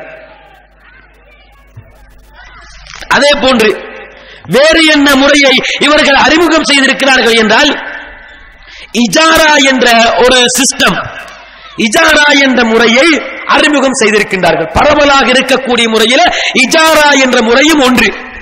இஜாரா என்று சொன்னா கூலிக்கு கொடுக்கிறது ரெண்ட் கொடுப்பது. அஜிரண்டா கூலி. அரபு நாடுகளுக்கு போனவர்களுக்கு தெரியும் டாக்ஸி ஓட்டுகிற நேரத்தில் அந்த வண்டிகள் என்ன செய்யப்பட்டிருக்கும்? லில் உஜிரா என்று போட்டிருக்கும். நம்ம நாட்டில் மீட்டர் டாக்ஸி டாக்ஸி நடிச்சிருக்கிற மாதிரி அரபு நாடுகளில் உஜிரா என்று போட்டிருக்கும். ரெண்ட்டுக்கு கூலிக்கு. நீங்க போகணும் என்று சொன்னா எனக்கு கூலி வந்து என்ற கார்ல போங்க. அப்ப கூலி எடுப்பது. வாடகைக்கு ரெண்டுக்கு கொடுப்பதற்கு பேரு இஜாரா. இந்த இஜாரா சிஸ்டத்தில் என்ன செய்கிறார்கள் என்று சொன்னா இப்ப ஒருவருக்கு ஒரு பொருளை வாங்கணும். ஆனா அந்த பொருளை வாங்குவதற்கு அவருடைய கையிலே முழுமையான பணம் இருக்காது. எனக்கு ஒரு வீட்டை வாங்கணும். எனக்கு ஒரு காரை வாங்கணும். எனக்கு ஒரு லேண்ட வாங்கணும். அந்த வாங்க வேண்டிய பொருளை வாங்குவதற்கு என்னிடத்திலே மொத்தமாக பணம் இருக்காது. நான் என்ன செய்வேன்? அந்த பொருளை பார்த்து விட்டு இனம் கண்டு விட்டு அந்த நிதி நிறுவனத்தை நான் அணுகுவேன். இஸ்லாமிய வங்கியை அல்லது இஸ்லாமிய பேங்கிங் சிஸ்டத்தை நான் அணுகின்ற நேரத்தில் அவங்க என்ன செய்வாங்க? அவர்களிடம் இருக்கக்கூடிய பொருளாதாரத்தை போட்டு நிறைய பேர் அவர்களிடத்தில் முதலீடு செய்திருப்பார்களே. அந்த முதலீட்டை முலாரபா அடிப்படையில் தொழில் செய்து லாபம் தருவதாக சொன்னார்களே. அந்த முலாரபா இங்கேயும் வரும். அந்த நிறைய பேர் முதலீடு செய்த அந்த பணத்தை வச்சு ஒரு லேண்டையோ ஒரு வாகனத்தையோ ஒரு வீட்டையோ என்ன எனக்கு தேவைப்படுதோ ரமலான் வருது எனக்கு நிறைய தொழில் செய்ய வேண்டியிருக்கின்றது எனக்கு ஒரு ஆயிரம் சல்வாரை பாம்பேலிருந்து இறக்குமதி செய்து தாருங்கள். எனக்கு ஒரு ஐநூறு சல்வாரை குஜராத்திலிருந்து இறக்குமதி செய்து தாருங்கள். இது ஒரு அட்ரஸ் இருக்கிறது என்றா தருவாங்க. என்ன எனக்கு தேவையோ தேவையானதை எடுத்து கொடுப்பாங்க. ஆனா என்கிட்ட காசு இருக்காது. கொள்வனவு செய்வதற்கு என்னிடத்தில் பொருளாதார பணம் இருக்காது. இவங்க என்ன செய்வாங்க? அதை வாங்குவார்கள். இவர்கள் வாங்கி இப்ப திரும்ப என்ன செய்கின்றது? முராபக அடிப்படையிலே அங்க லாபம் வைப்பாங்க. வாங்கப்பட்ட பொருளின் பெருமதி பதினஞ்சு லட்சம் பத்து லட்சம். இப்படி அந்த பொருளுடைய தரத்துக்கு ஏற்ப லட்சக்கணக்காக கூடி குறையும். அந்த பொருளாதாரத்துக்கு நான் அஞ்சு வருஷத்துல செலுத்தினா நாலு வருஷத்துல செலுத்தினா மூணு வருஷத்துல செலுத்தினா அந்த காலக்கெடுவை அடிப்படையாக வைத்து இஜாரா சிஸ்டத்தில் முராபகா அடிப்படையில் ஒரு லாபத்தை தீர்மானிப்பாங்க. அந்த லாபத்தையும் சேர்த்து ஒட்டுமொத்தமாக ஒரு பத்து லட்சம் வரும் வைங்க. ஒட்டுமொத்தமாக ஒரு முப்பது லட்சம் வரும் வைங்க. ஒரு தொகை வரும். அந்த தொகையை நான் எவ்வளவு காலத்தில் செலுத்துவேனோ அதற்கு ஏற்ற மாதிரி பிரிப்பார்கள். ஏனைய வங்கிகள்ல வாரிக்க செலுத்துறேன்னு சொல்லுவாங்களா இல்லையா? அது மாதிரி இவங்களும் என்ன செய்வாங்க?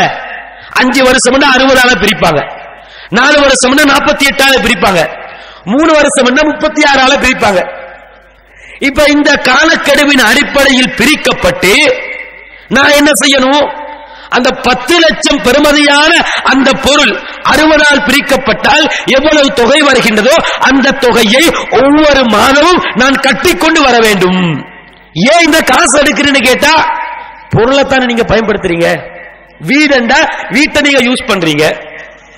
கார் என்றால் அந்த வாகனத்தை நீங்க ஓட்டுறீங்க. போட்டு என்றா போட்டை கடல்ல போட்டு மீன் பிடிக்கிறீங்க யூஸ் பண்றீங்க? அப்ப எங்க போற நீங்க யூஸ் பண்ணத்தானே செய்வீங்க அவருக்கு ரெண்ட் கூலி. அதற்கு உங்களிடமிருந்து நாங்க என்ன செய்யறோம் மாதாந்தம் கூலி எடுக்கிறோம். உலகத்துல கூலிய அந்த பொருளுடைய மொத்த பெருமானத்திலிருந்து செலுத்துகின்ற கால அளவை அடிப்படையாக வைத்து நிறுவனம் செய்த நிர்ணயம் செய்த ஒரே அமைப்பு இருக்கும் என்றால் இவங்க தான் எனக்கு ஒரு வீடு தேவைன்னு வைங்க. இந்த கிண்யா பிரதேசத்துல இரண்டு வருஷத்துக்கு நான் தங்கி இருப்பதற்கு எனக்கு வாடகைக்கு ஒரு வீடு தேவைப்படுகின்றது. இந்த பகுதியில மாதாந்தம் வீட்டு ரெண்ட் எவ்வளவு வந்து பார்ப்பேன். அஞ்சாயிரம் ஒரு பேச்சுக்கு அஞ்சாயிரம். நான் ரெண்டு வருஷத்துக்கு இருப்பேன். இருபத்தி நாலு மாதங்கள். இருபத்தி நாலு மாதத்துக்கு நான் எவ்வளவு ரெண்ட் கட்ட வேண்டும் என்று ஐந்தாயிரத்தால் நான் பெருக்கி எவ்வளவு எனக்கு வருகின்றதோ ஒரு லட்சத்து இருபதாயிரம் வருகிறதா? ஒரு லட்சத்து இருபதாயிரம் என்ன செய்வேன்? அவர்களுக்கு மாதாந்தம் ஐந்தாயிரம் என்ற விதத்தில் நான் வாடகை செலுத்துவேன். அதற்கு மாற்றமாக நான் ரெண்டு வருஷத்துக்கு குடியிருக்கக்கூடிய வீட்டை அந்த வீட்டின் ஓனர் கட்டி முடிப்பதற்கு எவ்வளவு சென்றது? இருபது லட்சம் சென்றிருக்கின்றது. எனவே இருபத்தி நான்கு மாதங்கள் அந்த வீட்டில் நான் தங்குவதற்கு இருபத்தி நாலு மாதத்தால் இருபது லட்சத்தை கணக்கு போட்டு யாரும் உலகத்தில் ரெண்ட் கட்டுறதில்லை இந்த மடத்தனமான காரியத்தை இந்த உலகத்தில் யாரும் செய்வதில்லை. ஆனா இவங்களோட சிஸ்டம் என்ன? பொருளை வாங்குவதற்கு எவ்வளவு போயிருக்கின்றதோ அது அஞ்சு வருஷத்தால நாலு வருஷத்தால பிரிச்சு அதை மாதாந்தம் என்ன செய்ய வேண்டுமாம்? அவர்களுக்கு கட்டிக்கொண்டு வர வேண்டும்.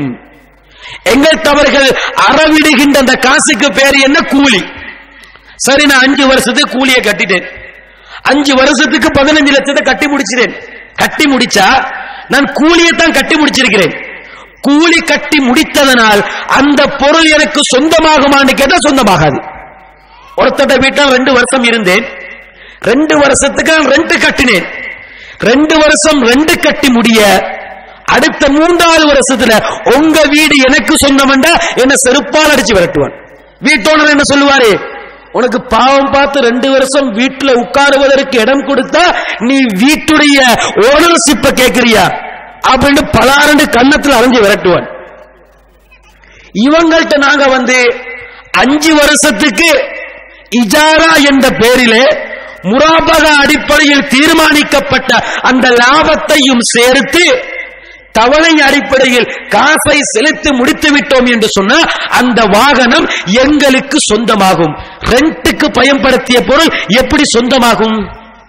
மொட்டத்தலைக்கும் முழங்காலுக்கும் முடிச்சு போடுற மாதிரி இல்லையா? இதுக்கு என்ன சொல்லுவாங்க? இந்த இஸ்லாமிக் பேங்கிங் சிஸ்டம் நடத்துகின்ற உலகத்தில் இருக்கக்கூடிய எல்லோரும் கூடி ஒரு முடிவு எடுக்கிறாங்க. இந்த வாகனத்தை அவனுக்கே கொடுக்கணும்.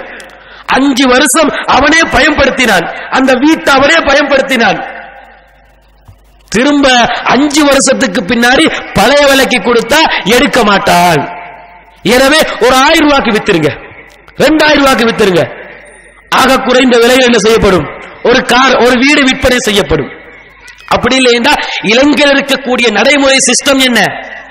அந்த அஞ்சு வருஷம் முடிய அந்த வீட்டை அந்த பொருளை காரை நாங்கள் உங்களுக்கு கிஃப்ட் பண்றோம். என்ன சொல்லுவாங்க? உங்களுக்கு கிஃப்டாக தருகிறோம் என்று கண் துடைப்பு நாடகத்தை நடத்துவதை நாங்கள் பார்த்து கொண்டிருக்கிறோம். ரெண்ட் கட்டினவருக்கு தெரியும் அந்த வாகனத்தை எடுத்துக் கொடுத்த வங்கிக்கு தெரியும் நாங்கள் எடுத்தது ரெண்ட் இல்ல கூலி இல்ல. லீஸுக்கு போட்டு கொடுத்துட்டு லீஸ கட்டி இருக்கிறாரு எசட் லைன்ல போய் ஒரு திருவிழா வாங்கினா ஏழரை லட்சம் எட்டு லட்சம் திருவில் முடியும். அஞ்சு வருஷத்துக்கு அறுபது மாதங்களுக்கு வாரிக்க போட்டு தருவான். ஒவ்வொரு மாசம் கட்டி முடிய கட்டி முடிய எனக்கு ஆர்சிபிக்கு கொடுத்துருவாங்க. ஓனர்ஷிப் எங்களுக்கு மாறும். இவங்களும் அதே முறையை தான் செய்யறாங்க வாகனத்தை வாங்குவதற்கு பதினஞ்சு லட்சம் போனதா? வீட்டை வாங்குவதற்கு இருபத்தஞ்சு லட்சம் போனதா? அதை திருப்பி செலுத்துகின்ற கால அளவை பார்க்கின்றார்கள். அஞ்சு ஆண்டா மூன்று ஆண்டா நான்கு ஆண்டா கேட்ட மாதிரி முராபகா என்ற பெயரிலே லாபம் தீர்மானிக்கப்பட்டு இரண்டும் ஒன்று சேர்க்கப்பட்டு அதை அந்த மாதத்தால் பிரித்து நாங்கள் லீஸை கட்டுகிறோம். ஆனால் அவர்கள் இஜாரா கூலி என்று ஒரு பெயரை வைத்து அரபு பெயரை வைத்து நாடகமாடி கொண்டிருக்கின்றார்கள் இதுதான் நிதர்சன உண்மை. இதை நம்பாம நிறைய பேர் அதிலே விழுந்து பொருளாதாரத்தையும் இழந்து வட்டியிலே பலிக்கடா பலிக்கடாவாகி கொண்டிருக்கின்றார்கள் இவங்க போட்டு தருகின்ற இந்த கணக்கையும் பாரம்பரிய வங்கியில லீஸுக்கு போடுவாங்க ஒரு கணக்கு. இதையும் அப்படியே உரசி பார்த்தா உண்டு சேர்த்து பார்த்தா இவங்க போடுற கணக்கு கூடுதலாக இருக்கும். பாரம்பரிய வங்கிகள் லீஸுக்கு போடுகின்ற கணக்கு குறைவாக இருக்கும். ரெண்டு ஒண்ணுதான். அவன் வட்டின்னு தெளிவாக வாங்கினால் நீங்க இஜாரா என்ற பெயரில் கள்ளத்தனமாக அந்த வட்டியை சுரண்டிக் கொண்டிருக்கின்றீர்கள். இஜாரா என்ற பெயரில் இப்படி ஒரு நாடகம் அங்கே அரங்கேற்றப்பட்டுக் கொண்டிருக்கின்றது. அடுத்து அன்புள்ள சகோதரர்களே வேறு என்ன சிஸ்டத்தை இவர்கள் வைத்திருக்கிறார்கள் என்று சொன்னால் அல் பை உல் முஅஜ்ஜல் என்று ஒரு முறையை அறிமுகம் செய்திருப்பார்கள். அதாவது அல் பை உல் முஅஜ்ஜல் என்று சொன்னால் இப்ப எனக்கு ஒரு பொருள் ஒரு போனை வாங்கி இந்த ஐபோன் நான் வாங்கணும். இந்த போனை வாங்குவதற்கு என்னிடத்த பணம் இருக்காது. நான் ஒரு டயலாக் நிறுவனத்துக்கு போய் அல்லது மொபைல் ஷோரூமுக்கு போய் அல்லது எல்ஜி ஷோரூமுக்கு போய் இந்த ஐபோனை வாங்கணும். வாங்குற நேரத்தில் இன்ஸ்டால்மெண்ட்டுக்கு வாங்குவேன். தவணைக்கு வாங்குவேன். பன்னிரண்டு மாதத்துல இந்த போனுடைய பெருமதி எவ்வளவோ? மாதாந்தம் ஒரு தொகை என்ற அடிப்படையில் நான் கட்டி முடிப்பேன். எந்த நிபந்தனையின் அடிப்படையில்? தவணை அடிப்படையில் இன்ஸ்டால்மெண்ட்டுக்கு பொருள் வாங்குவது இருக்கின்றதே. இதற்கு இவர்கள் வைத்த பேர் அல் பை உல் முஅஜ்ஜல்.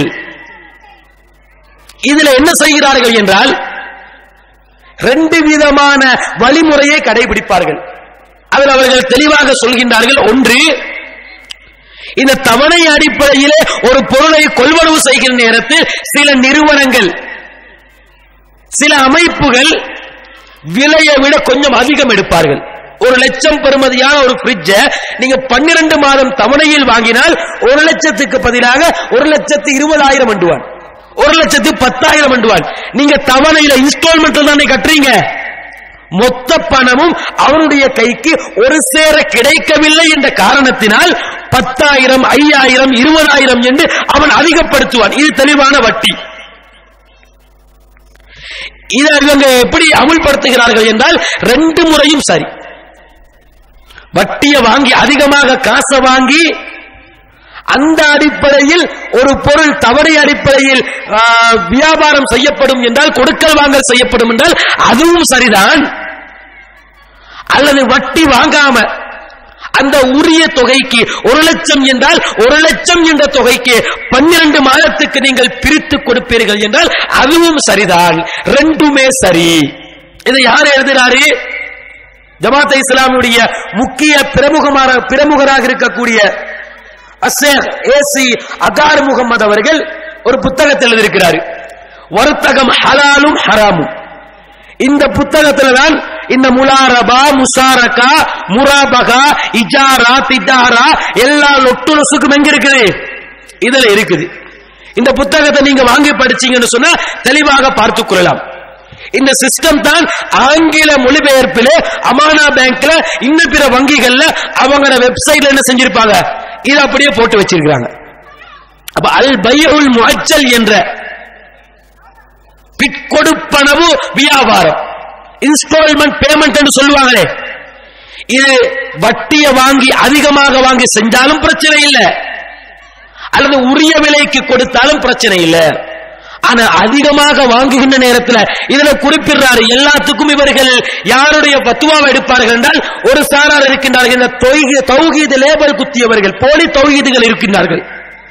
இவர்கள் எடுக்கக்கூடிய ஆதாரம் அரபு உலகத்தில் இருக்கக்கூடிய Sheikh bin Baz Sheikh Albani Sheikh Salih Uthaymeen இப்படியான பெயர்களைத்தான் இந்த போலி தௌஹீதுகள் உச்சரிப்பார்கள்.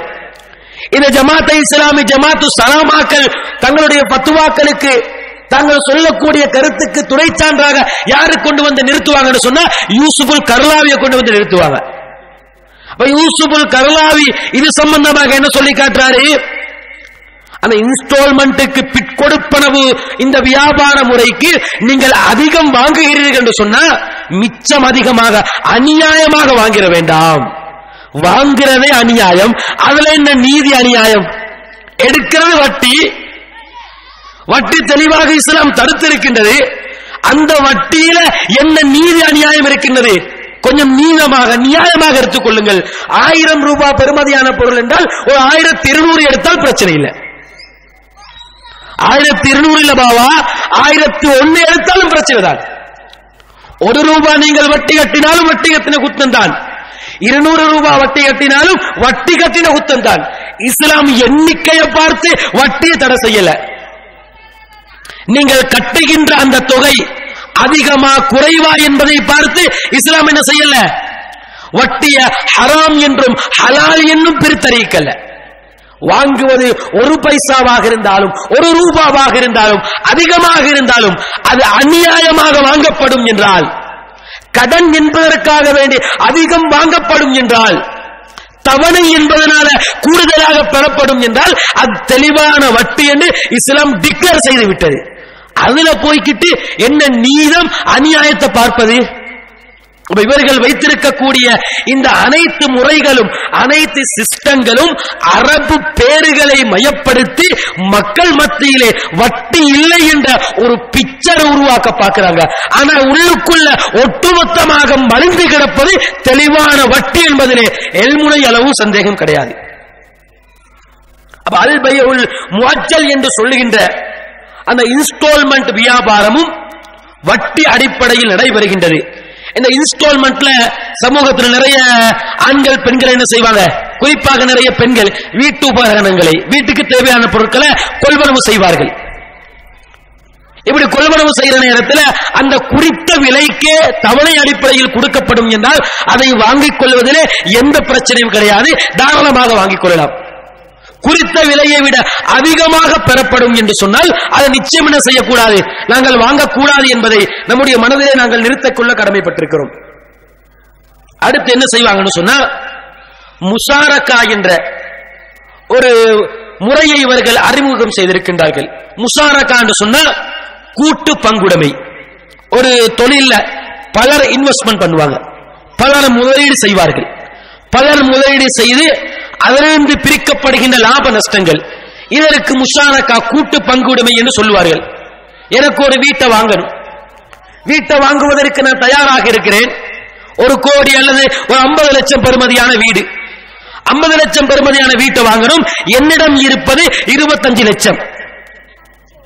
மீதி இருபத்தஞ்சு லட்சத்துக்கு நான் என்ன செய்யறேன் இந்த பேங்க நாடுறேன்.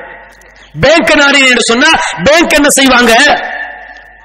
மீதி இருபத்தஞ்சு லட்சத்தை அவர்களாக போடுவார்கள். அவர்களாக போட்டு ஐம்பது லட்சத்துக்கு அந்த வீட்டை வாங்கி அல்லது ஒரு கோடிக்கு அந்த வீட்டை வாங்கி ஒரு கோடி என்றா நான் ஐம்பது அவர்கள் ஐம்பது. ஐம்பது லட்சம் என்றா நான் இருபத்தஞ்சு அவர்கள் இருபத்தஞ்சு. என்கிட்ட இருப்பது இருபத்தஞ்சு? மீதி இருபத்தஞ்சுக்கு அவர்கள் நாடினேன். அவர்கள் போட்டு இப்ப வீட்டை வாங்குறாங்க. இந்த வீட்டில ஐம்பது சதவீத உரிமை எனக்கு இருக்கின்றது. ஐம்பது சதவீத உரிமை வங்கிக்கு இருக்கின்றது. இந்த வங்கி என்ன செய்யுது? வீடு யாருக்கு தேவை? எனக்கு தான் வீடு தேவை. வங்கிக்கு வீடு தேவையில்லை. வங்கி வீட்டை வச்சு என்ன செய்வதற்கு வங்கி மேனேஜருக்கு வங்கியுடைய டிரெக்டருக்கு வங்கியில் இருக்கக்கூடிய ஏழைய பதவிகளில் இருக்கக்கூடியவர்களுக்கு காரு பைக்கு வீடு வாசல் என்று அவர்கள் கொடுத்திருப்பார்கள். எனவே அவர்களுக்கு வீடு தேவையில்லை. வீடு தேவை எனக்கு. ஐம்பது சதவீதம் நான் ஓனராக இருக்கிறேன். ஐம்பது சதவீதம் வங்கி ஓனராக இருக்குது. இப்ப என்ன செய்வாங்கன்னா ரெண்டு பேரும் பேசி வீட்டுக்கு ஒரு கூலிய நிர்ணயம் செய்வார்கள். வீட்டுக்கு ஒரு கூலிய நிர்ணயம் செய்வார்கள். மாதாந்தம் இந்த வீட்டுக்கு இருபதாயிரம் ரெண்ட் இருபதாயிரம் கூலி என்று நிர்ணயம் செய்து இப்ப கூலிய கட்டணும். எங்களுக்கு என்ன சொல்லுவாங்க? நீங்க இருபதாயிரம் கட்ட வேண்டாம். ஏ ஐம்பது சதவீதம் நீங்க ஓனர் தானே ஐம்பது சதவீதம் இந்த வீட்டுடைய உரிமை உங்களுக்கு இருக்கிறது. எனவே நீங்கள் இருபதாயிரம் கட்ட தேவையில்லை. பத்தாயிரம் கட்டினா போதும். பத்தாயிரம் தான் என்ன செய்யணும்? அந்த வீட்டுக்கு வாடகை செலுத்த வேண்டும். அப்ப வீட்டுடைய ஓனருக்கே கூலிக்கு கொடுக்கக்கூடிய ஒரு நிலை. ஓனரே வீட்டில் கூலிக்கு இருக்கிறாரு. ரெண்ட் கட்டி கொண்டு நான் பத்தாயிரம் என்ன செய்வேன்? வீட்டுடைய வாடகையை செலுத்துவேன். வாடகையை செலுத்துவதோடு மீதி இருக்கக்கூடிய அந்த இருபத்தஞ்சு லட்சம் வங்கிக்கு நான் செலுத்த வேண்டிய அவர்களுடைய இருபத்தஞ்சு லட்சம் இருக்கிறதே. இது ஒரு காலத்தை நிர்ணயம் செய்து இத்தனை மாதத்துல இதை கட்டி முடிச்சிருங்க. பத்து மாதத்துல நான் அதை கட்டி முடிக்கணும். இருபத்தஞ்சு லட்சம் என்றா பத்து மாதம் என்று வைங்க. மாதம் இரண்டரை லட்சம் வீதம் அதை நான் பத்து மாதத்துல முடிச்சிடணும். அப்ப முதல் மாதம் ஏண்ட இருபத்தஞ்சு? அவங்கட இருபத்தஞ்சு? எனவே நான் பத்தாயிரம் ரெண்ட் கட்டுவேன். ரெண்டாவது மாதம் வீட்டுடைய பெருமதி ஏன் எவ்வளவு வந்துட்டு? இருபத்தேழரை லட்சம். ரெண்டரை லட்சம் எக்ஸ்ட்ரா கட்டிட்டேன் நானே. வங்கியுடைய பெருமதி இருபத்தி ரெண்டரை லட்சம். ரெண்டரை லட்சம் அவருடைய பெருமதி குறையுது. இப்படி என்ன செய்யும்? ஒவ்வொரு மாதம் கூட கூட இருபத்தேழரை முப்பது அவங்களோட பெருமதி கு- குறைஞ்சு கொண்டே போகும். வீட்டில் இருக்கக்கூடிய என்னுடைய உரிமை ஐம்பது சதவீதம் ஐம்பத்தஞ்சாக அறுபதாக அறுபத்தஞ்சாக இப்படி அதிகரிச்சு கொண்டே போகும். வங்கியிட உரிமை ஐம்பதுல இருந்து நாற்பத்தி அஞ்சு நாற்பது முப்பத்தி அஞ்சு முப்பது என்று இறங்கிக் கொண்டே போகும். இப்ப நான் ரெண்ட் கட்டுற நேரத்தில் எப்படி ரெண்ட் கட்டணும்? ஏண்ட உரிமை ஐம்பது சதவீதம் இருந்தது வங்கியின் உரிமை ஐம்பது சதவீதம் இருந்தது. எனவே நான் பத்தாயிரம் கட்டினேன் இருபதாயிரத்துல பாதி கட்டினேன். எனது உரிமை அதிகரிக்க அதிகரிக்க நான் கட்டுகின்ற ரெண்டுடைய அளவும் என்ன செய்யும்? குறைந்து கொண்டே போகும். கடைசியில நான் மொத்த பணத்தையும் செலுத்தி முடித்து விட்டேன் என்றால் வீட்டுடைய உரிமையாளராக நான் மாறிவிடுவேன். ஒட்டுமொத்த வீடும் எனக்கு வந்துடும். நான் ரெண்ட் கட்ட வேண்டிய எந்த தேவையும் இல்லை. இடையில ஒரு பத்து மாத காலம் அல்லது குறிப்பிட்ட ஒரு கால அளவுக்கு அங்க நான் ரெண்ட் என்ற பெயர்ல கொடுத்தேனே இதுக்கு பேரு என்ன? அவர்களுடைய பாசையிலே முசாரக்கா அடிப்படையில் நான் ரெண்ட் கட்டியிருக்கிறேன் கூலி கொடுத்திருக்கிறேன். ஆனா நான் கட்டியது வட்டி. வட்டிய முசாரக்கா என்ற பெயரில் நான் அவர்களுக்கு கொடுத்திருக்கிறேன். எனக்கு இருபத்தஞ்சு லட்சம் காசு தேவை. காசு இல்லை என்பதனால நான் என்ன செஞ்சேன்? அவர்களை அணுகி அவர்களிடத்தில் கடனாக எடுத்தேன். கடனாக எடுத்த இருபத்தஞ்சு லட்சத்தை ஒரு நகை அடமானம் வச்சு அல்லது வீட்டு பத்திரத்தை அடமானம் வச்சு அல்லது வேறு ஏதாவது ஒரு பொருளை அடமானமாக வைத்து இருபத்தஞ்சு லட்சம் எனக்கு கடன் கொடுத்து விட்டு இருபத்தஞ்சு லட்சத்தை நான் அசலாக வட்டி இல்லாமல் திருப்பி செலுத்தி இருந்தால் நான் கட்டிய ரெண்ட் இருக்கின்றதே. இதை நான் கட்டியா இருக்க மாட்டேன். இதுக்குத்தான் அவங்களை அணுகினேன். என்கிட்ட இருபத்தஞ்சு லட்சம் காசு இல்ல. இதனால் நான் வங்கியை அணுகினேன். என்னுடைய பலவீனத்தை பணம் இல்லை என்ற நிலையை சந்தர்ப்பமாக பயன்படுத்தி ரெண்ட் என்ற பெயரிலே என்னிடத்திலிருந்து சுரண்டலாக வட்டி அறவிடப்பட்டிருக்கின்றது. அதே நபிகள் நாயகம் சொன்னார்கள் லா ரிபா இல்லா பின்னசியா வட்டி என்பது கடனை தவிர வேற எதிலேயுமே இருக்காது என்று அல்லாஹிமின் தூதர் சொன்னார்கள். உண்மையில வீட்டை ரெண்டுக்கு கொடுப்பதாக இருந்தா பத்து மாசம் ஒரே ரேட்ல இருந்திருக்கணும். இது ரேட்டு கூடி குறையுது. என்னுடைய உரிமை கூட கூட ரெண்ட் குறையுது. அவருடைய உரிமை குறைய குறைய ரெண்ட் குறையுது. இது வட்டி இல்லாமல் வேறு எதுவாக இருக்கும்? அல்லாஹின் தூதர் செல்லாவிசன் சொன்னார்களே ஒரு காலம் வரும் அந்த காலத்துல மக்கள் என்ன செய்வார்கள்? வட்டிய வேறு பேர்ல சாப்பிடுவாங்க. வட்டி என்று சாப்பிட மாட்டாங்க. வட்டி என்று சாப்பிட்டா தான் நான் வட்டி வாங்கிட்டு இவர் வட்டி கிழமத்துறாரு இவர் வட்டி மூசா என்று சமூகம் சொல்லும். அதுக்கு வேறு பேரை வச்சு முலாரபா என்றும் முசாரக்கா என்றும் இஜாரா என்றும் அல் பையுல் முஹஜல் என்றும் அல்லது முராபகா என்றும் அரபு பேர்களை வச்சா சமூகம் எப்படி பார்க்கும்? இஸ்லாமிக் பேங்க் நடத்துறாங்க. வட்டி கடன் நடத்தல. இவர் வட்டி மூசா அல்ல. இஸ்லாமிய பேங்க் நடத்தி ஹலாலான வழியிலே இவர் சம்பாதிக்கிறார் என்று சமூகம் பார்க்கும். அப்ப இப்படி மக்களை ஏமாற்றி மக்களுடைய அறியாமையை பலவீனத்தை தங்களுக்கு சாதகமாக பயன்படுத்தி இது போன்ற அடிப்படையிலே பணம் சம்பாதிக்கக்கூடிய காரியத்தை இந்த நிதி நிறுவனங்கள் செய்வதை பார்க்கிறோம். இன்னும் நிறைய இருக்கின்றது. இறுதியாக ஒரே ஒரு செய்தியை மாத்திரம் சொல்லி முடித்துக் கொள்கிறேன். இதுல இந்த இஸ்லாமிக் பேங்க் என்று தங்களை அறிமுகம் செய்திருக்கக்கூடியவர்கள் செய்யக்கூடிய மட்டுமொரு காரியம் தான் முஷாரகா சுக்கூக்கு என்று சொல்லுவார்கள் முஷாரகா சுகூக் என்று சொன்னா இது ஆங்கிலத்தில் சொன்னால் எல்லோருக்கும் இலகுவாக புரிந்துடும் ஷேர் மார்க்கெட் இருக்குதா இல்லையா? பங்கு சந்தை.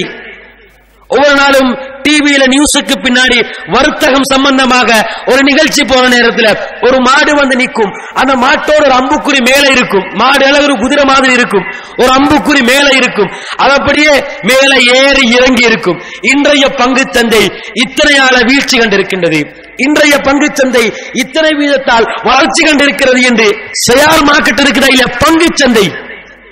இந்த பங்கு சந்தைக்கு அரபியில் இவர்கள் வைத்த பேர் முஷாரகா சுகூக். இந்த பங்கு சந்தையே ஒரு கெம்பிளின் ஒரு சூது. சுத்த ஏமாத்து. இதை என்ன செய்கின்றார்கள்? இஸ்லாமிய நிதி நிறுவனங்கள் இஸ்லாமிய பேங்க் என்று தங்களுக்கு இஸ்லாத்துடைய பெயரை பூசிக்கொண்டவர்கள் இதை செய்யறாங்க இதை வேறு வங்கிகள் செய்தால் அது அவங்க இஸ்லாமிய பேரை பயன்படுத்தல. அவர்கள் முஸ்லிம் அல்லாத மக்கள். அவர்களுக்கு அதுல ஹராம் ஹலால் பிரச்சனை இல்ல. அவங்களுக்கு பொருளாதாரம் தான் தேவை. யாரை கொண்டாலும் காசு வரணும். அதுதான் அவர்களுடைய குறிக்கோள். ஆனா இவங்களோட குறிக்கோள் என்ன? நம்முடைய முஸ்லிம் மக்கள் வட்டியில விழக்கூடாது. வட்டியிலிருந்து அவர்களை பாதுகாக்கணும். இந்த நோக்கத்தை அடிப்படையாக வச்சு இந்த நோக்கத்தை மக்களிடத்துல சொல்லி நிதி நிறுவனத்தை துவங்கியவர்கள் இந்த ஷேர் மார்க்கெட்டுல எப்படி பங்கெடுக்கலாம்? இந்த ஷேர் மார்க்கெட்டுல முசாரக்கா சுக்கூக்கி என்று ஷேர் மார்க்கெட்ல எப்படி இவர்கள் வர்த்தகம் செய்யலாம்? செய்ய முடியாது. ஒரு நிறுவனம் இருக்கும். அந்த நிறுவனம் தன்னுடைய முதலீட்டை கூட்டணும். டயலாக் எடுங்க. எடுங்க. இந்த டயலாக் தன்னுடைய முதலீட்டாளர்களை கூட்ட வேண்டும் என்றால் திடீரென்று அறிவிப்பு செய்வார்கள். டயலாக் நிறுவனத்துடைய ஒரு லட்சம் செயார்கள் விற்பனை செய்யப்படுகின்றது. ஒரு செயாருடைய பேஸ் வெல்யூ முகப்பெருமதி என்று இருக்கின்றது. அந்த ஷேர் மார்க்கெட் சம்பந்தமாக நுழைஜ் உள்ளவர்கள் இதை புரிந்து கொள்வார்கள். அந்த பேஸ் வேல்யூ பத்து ரூபாய் அல்லது நூறு ரூபாய் தான் இருக்குது ஒரு ஷேருடைய பேஸ் வேல்யூ ஒன்றில் பத்து ரூபாய் அல்லது நூறு ரூபாயாக இருக்கணும். இந்த பத்து ரூபாய் அல்லது நூறு ரூபாய் பெறுமதியான ஒரு லட்சம் ஷேர்கள் டயலாக் நிறுவனத்தால் விற்பனைக்கு விடப்படும். ஒவ்வொருவரும் தங்களுக்கு தேவையான அளவு ஷேர்களை வாங்கிக் கொள்ளலாம். அப்படி விற்பனைக்கு விடப்படுகின்ற நேரத்தில் திடீரென என்ன செய்வாங்கடா நூறு ரூபா பத்து ரூபா பெறுமதியான அந்த ஷேருடைய விலை அதிகரிக்கும். ஒரு ஷேருடைய விலை பத்தாயிரம். ஒரு ஷேருடைய விலை ஒரு லட்சம். ஏன்? ஏன் விலை அதிகரிக்கிறது கேட்டா இல்ல எங்களுக்கு சமூகத்தில் இருக்கக்கூடிய குட்வில் எங்களுக்கு ஒரு நட்பெயர் இருக்கின்றது. அந்த நட்பெயரின் மூலமாக எங்களோட செயல் அதிகரிக்கின்றது. ஒரு நிறுவனத்துடைய பெருமதி எதை வச்சு பார்க்கப்படும்? அதில் இருக்கக்கூடிய அசைகின்ற அசையாத சொத்துக்கள் எத்தனை மெஷின் இருக்கிறது எவ்வளவு பொருளாதாரம் இருக்கின்றது எவ்வளவு கையிருப்பில் பொருட்கள் இருக்கின்றது இவற்றை வைத்துத்தான் ஒரு நிறுவனத்துடைய பெருமதி அங்கே தீர்மானிக்கப்படும். ஆனா உண்மையில் டயலாக் நிறுவனத்துடைய பெருமதி உதாரணத்துக்கு பத்து கோடி என்றா திடீர்னு பதினஞ்சு கோடியாக மாறும். அஞ்சு கோடி எதனால மாறியது? எதனால் அதிகரித்தது? எங்களுக்கு இருக்கக்கூடிய நட்பெயர் ஒரு குட்வில் இருக்கின்றது. அதனால் அதிகரித்தது என்று சொல்லுவாங்க. இந்த ஷேர் மார்க்கெட்ல ஷேர் வாங்குவதற்கும் விற்பதற்கும் திடீரென ஒரு இடத்துல ஒரு கலவரம் ஒரு போம் பிளாஸ் நடக்குது. உடனே ஷேர்களுடைய அந்த பங்குகள் விலை குறைந்து விடும் இது அப்படியே அந்த சூதாட்டம் கேம்பிளிங் செய்யக்கூடியவர்கள் அப்படியே பார்த்துட்டு இருப்பாங்க. லவக்கண்டு கவி பிடிச்சி ஒரு நூறு சேரை வாங்குறது. ஒரு ஆயிரம் சேரை வாங்கி அப்படியே பதுக்கி வச்சிருப்பாங்க. எப்ப செயார் அந்த செயாருடைய பெருமதி அதிகரிக்கின்றதோ உடனே விற்பனை செய்வாங்க. வாங்குவதற்கும் விற்பதற்கும் இந்த செயார் என்பது தேங்காய் மாங்காய் மாதிரி சாமான் இல்லை. வெறும் பத்திரத்தை கையெழுத்தபடி இவ்வளவு தான் நான் இவ்வளவு சேர வாங்கியிருக்கிறேன். இந்த நிறுவனத்தில் எனக்கு இவ்வளவு உரிமை இருக்கின்றது. அந்த நிறுவனத்துடைய வருமானத்தில் எனக்கு இவ்வளவு லாபம் இருக்கின்றது. இந்த ஷேர்ல கூட என்ன செய்வாங்கன்னு சொன்னா ரெண்டு விதமான வழிமுறைகளை அவர்கள் கையாளுவார்கள். ஒன்று வந்து இந்த ஷேர்ல அவர்கள் வைத்திருக்கக்கூடிய ஒரு வழிமுறைதான் நிரந்தர வருமானத்தை கொடுக்கக்கூடிய ப்ரொபரன்ஸ் சேர் என்று சொல்லி ஒன்று வச்சிருப்பாங்க. இந்த ப்ரிஃபரன்ஸ் ஷேரை வந்து எல்லாருக்கும் கொடுக்க மாட்டாங்க. அந்த நிறுவனத்துடைய ஆரம்ப முதலீட்டாளர்களாக யார் இருக்கின்றார்களோ அவர்களுக்கு மட்டும்தான் கொடுப்பாங்க. அந்த ப்ரிஃபரன்ஸ் ஷேர்ல வந்து ஒரு சேர நூறு ரூபாய்க்கு வாங்கினா கண்டிப்பாக நூறு ரூபாய்க்கு நூத்தி இருபத்தஞ்சு ரூபாவோ நூத்தி இருபது ரூபாவோ நூத்தி முப்பது ரூபாவோ அதிகம் கிடைத்தே தீரும். இது ஆரம்ப முதலீட்டாளர்களுக்கு ஒது- ஒதுக்கி இருப்பார்கள். இரண்டாவது அவர்கள் வைத்திருப்பார்கள் ஓர்டினரி செயர் இதைத்தான் பொதுமக்களுக்கு விநியோகம் செய்வார்கள். இந்த ஓர்டினரி செயர்ல சில நேரம் நூறு ரூபாய்க்கு வாங்கினா நூத்தி பத்து கிடைக்கும் நூத்தி இருபது கிடைக்கும். சில நேரம் தொண்ணூறு எண்பது என்று வீழ்ச்சி காணவும் செய்யும். அப்ப ஒட்டுமொத்தமாக ஏமாற்றக்கூடிய ஏமாற்றே மொத்தமாக உள்ளடக்கி இருக்கக்கூடிய இந்த சயார் மார்க்கெட் பங்கு சந்தைய முஷாரக்கா சுக்கூக்கு என்று பேரு வைத்து இஸ்லாமிய நிதிச்சேவை இஸ்லாமிய நிதி நிறுவனம் இஸ்லாமிய பேங்க் என்று தங்களை இந்த நாட்டில் இந்த பிரதேசத்தில் அறிமுகம் செய்யக்கூடியவர்கள் இன்றைக்கு பரவலாக செய்து கொண்டிருக்கின்றார்கள். அப்ப பேருதான் இஸ்லாமிய வங்கி பேருதான் இஸ்லாமிய நிதிச்சேவை பேர்கள் தான் முலாரபா முசாரக்கா இஜாரா திஜாரா லொட்டு லொசுக்கி என்று அரபில் வைத்திருக்கின்றார்கள். உள்ளுக்குள் நடக்கக்கூடிய அனைத்து அட்டூழியங்களும் ஏனைய பாரம்பரிய வங்கிகளிலே என்ன நடக்கின்றதோ அந்த வட்டிதான் அங்கே அரங்கேறிக் கொண்டிருக்கின்றது.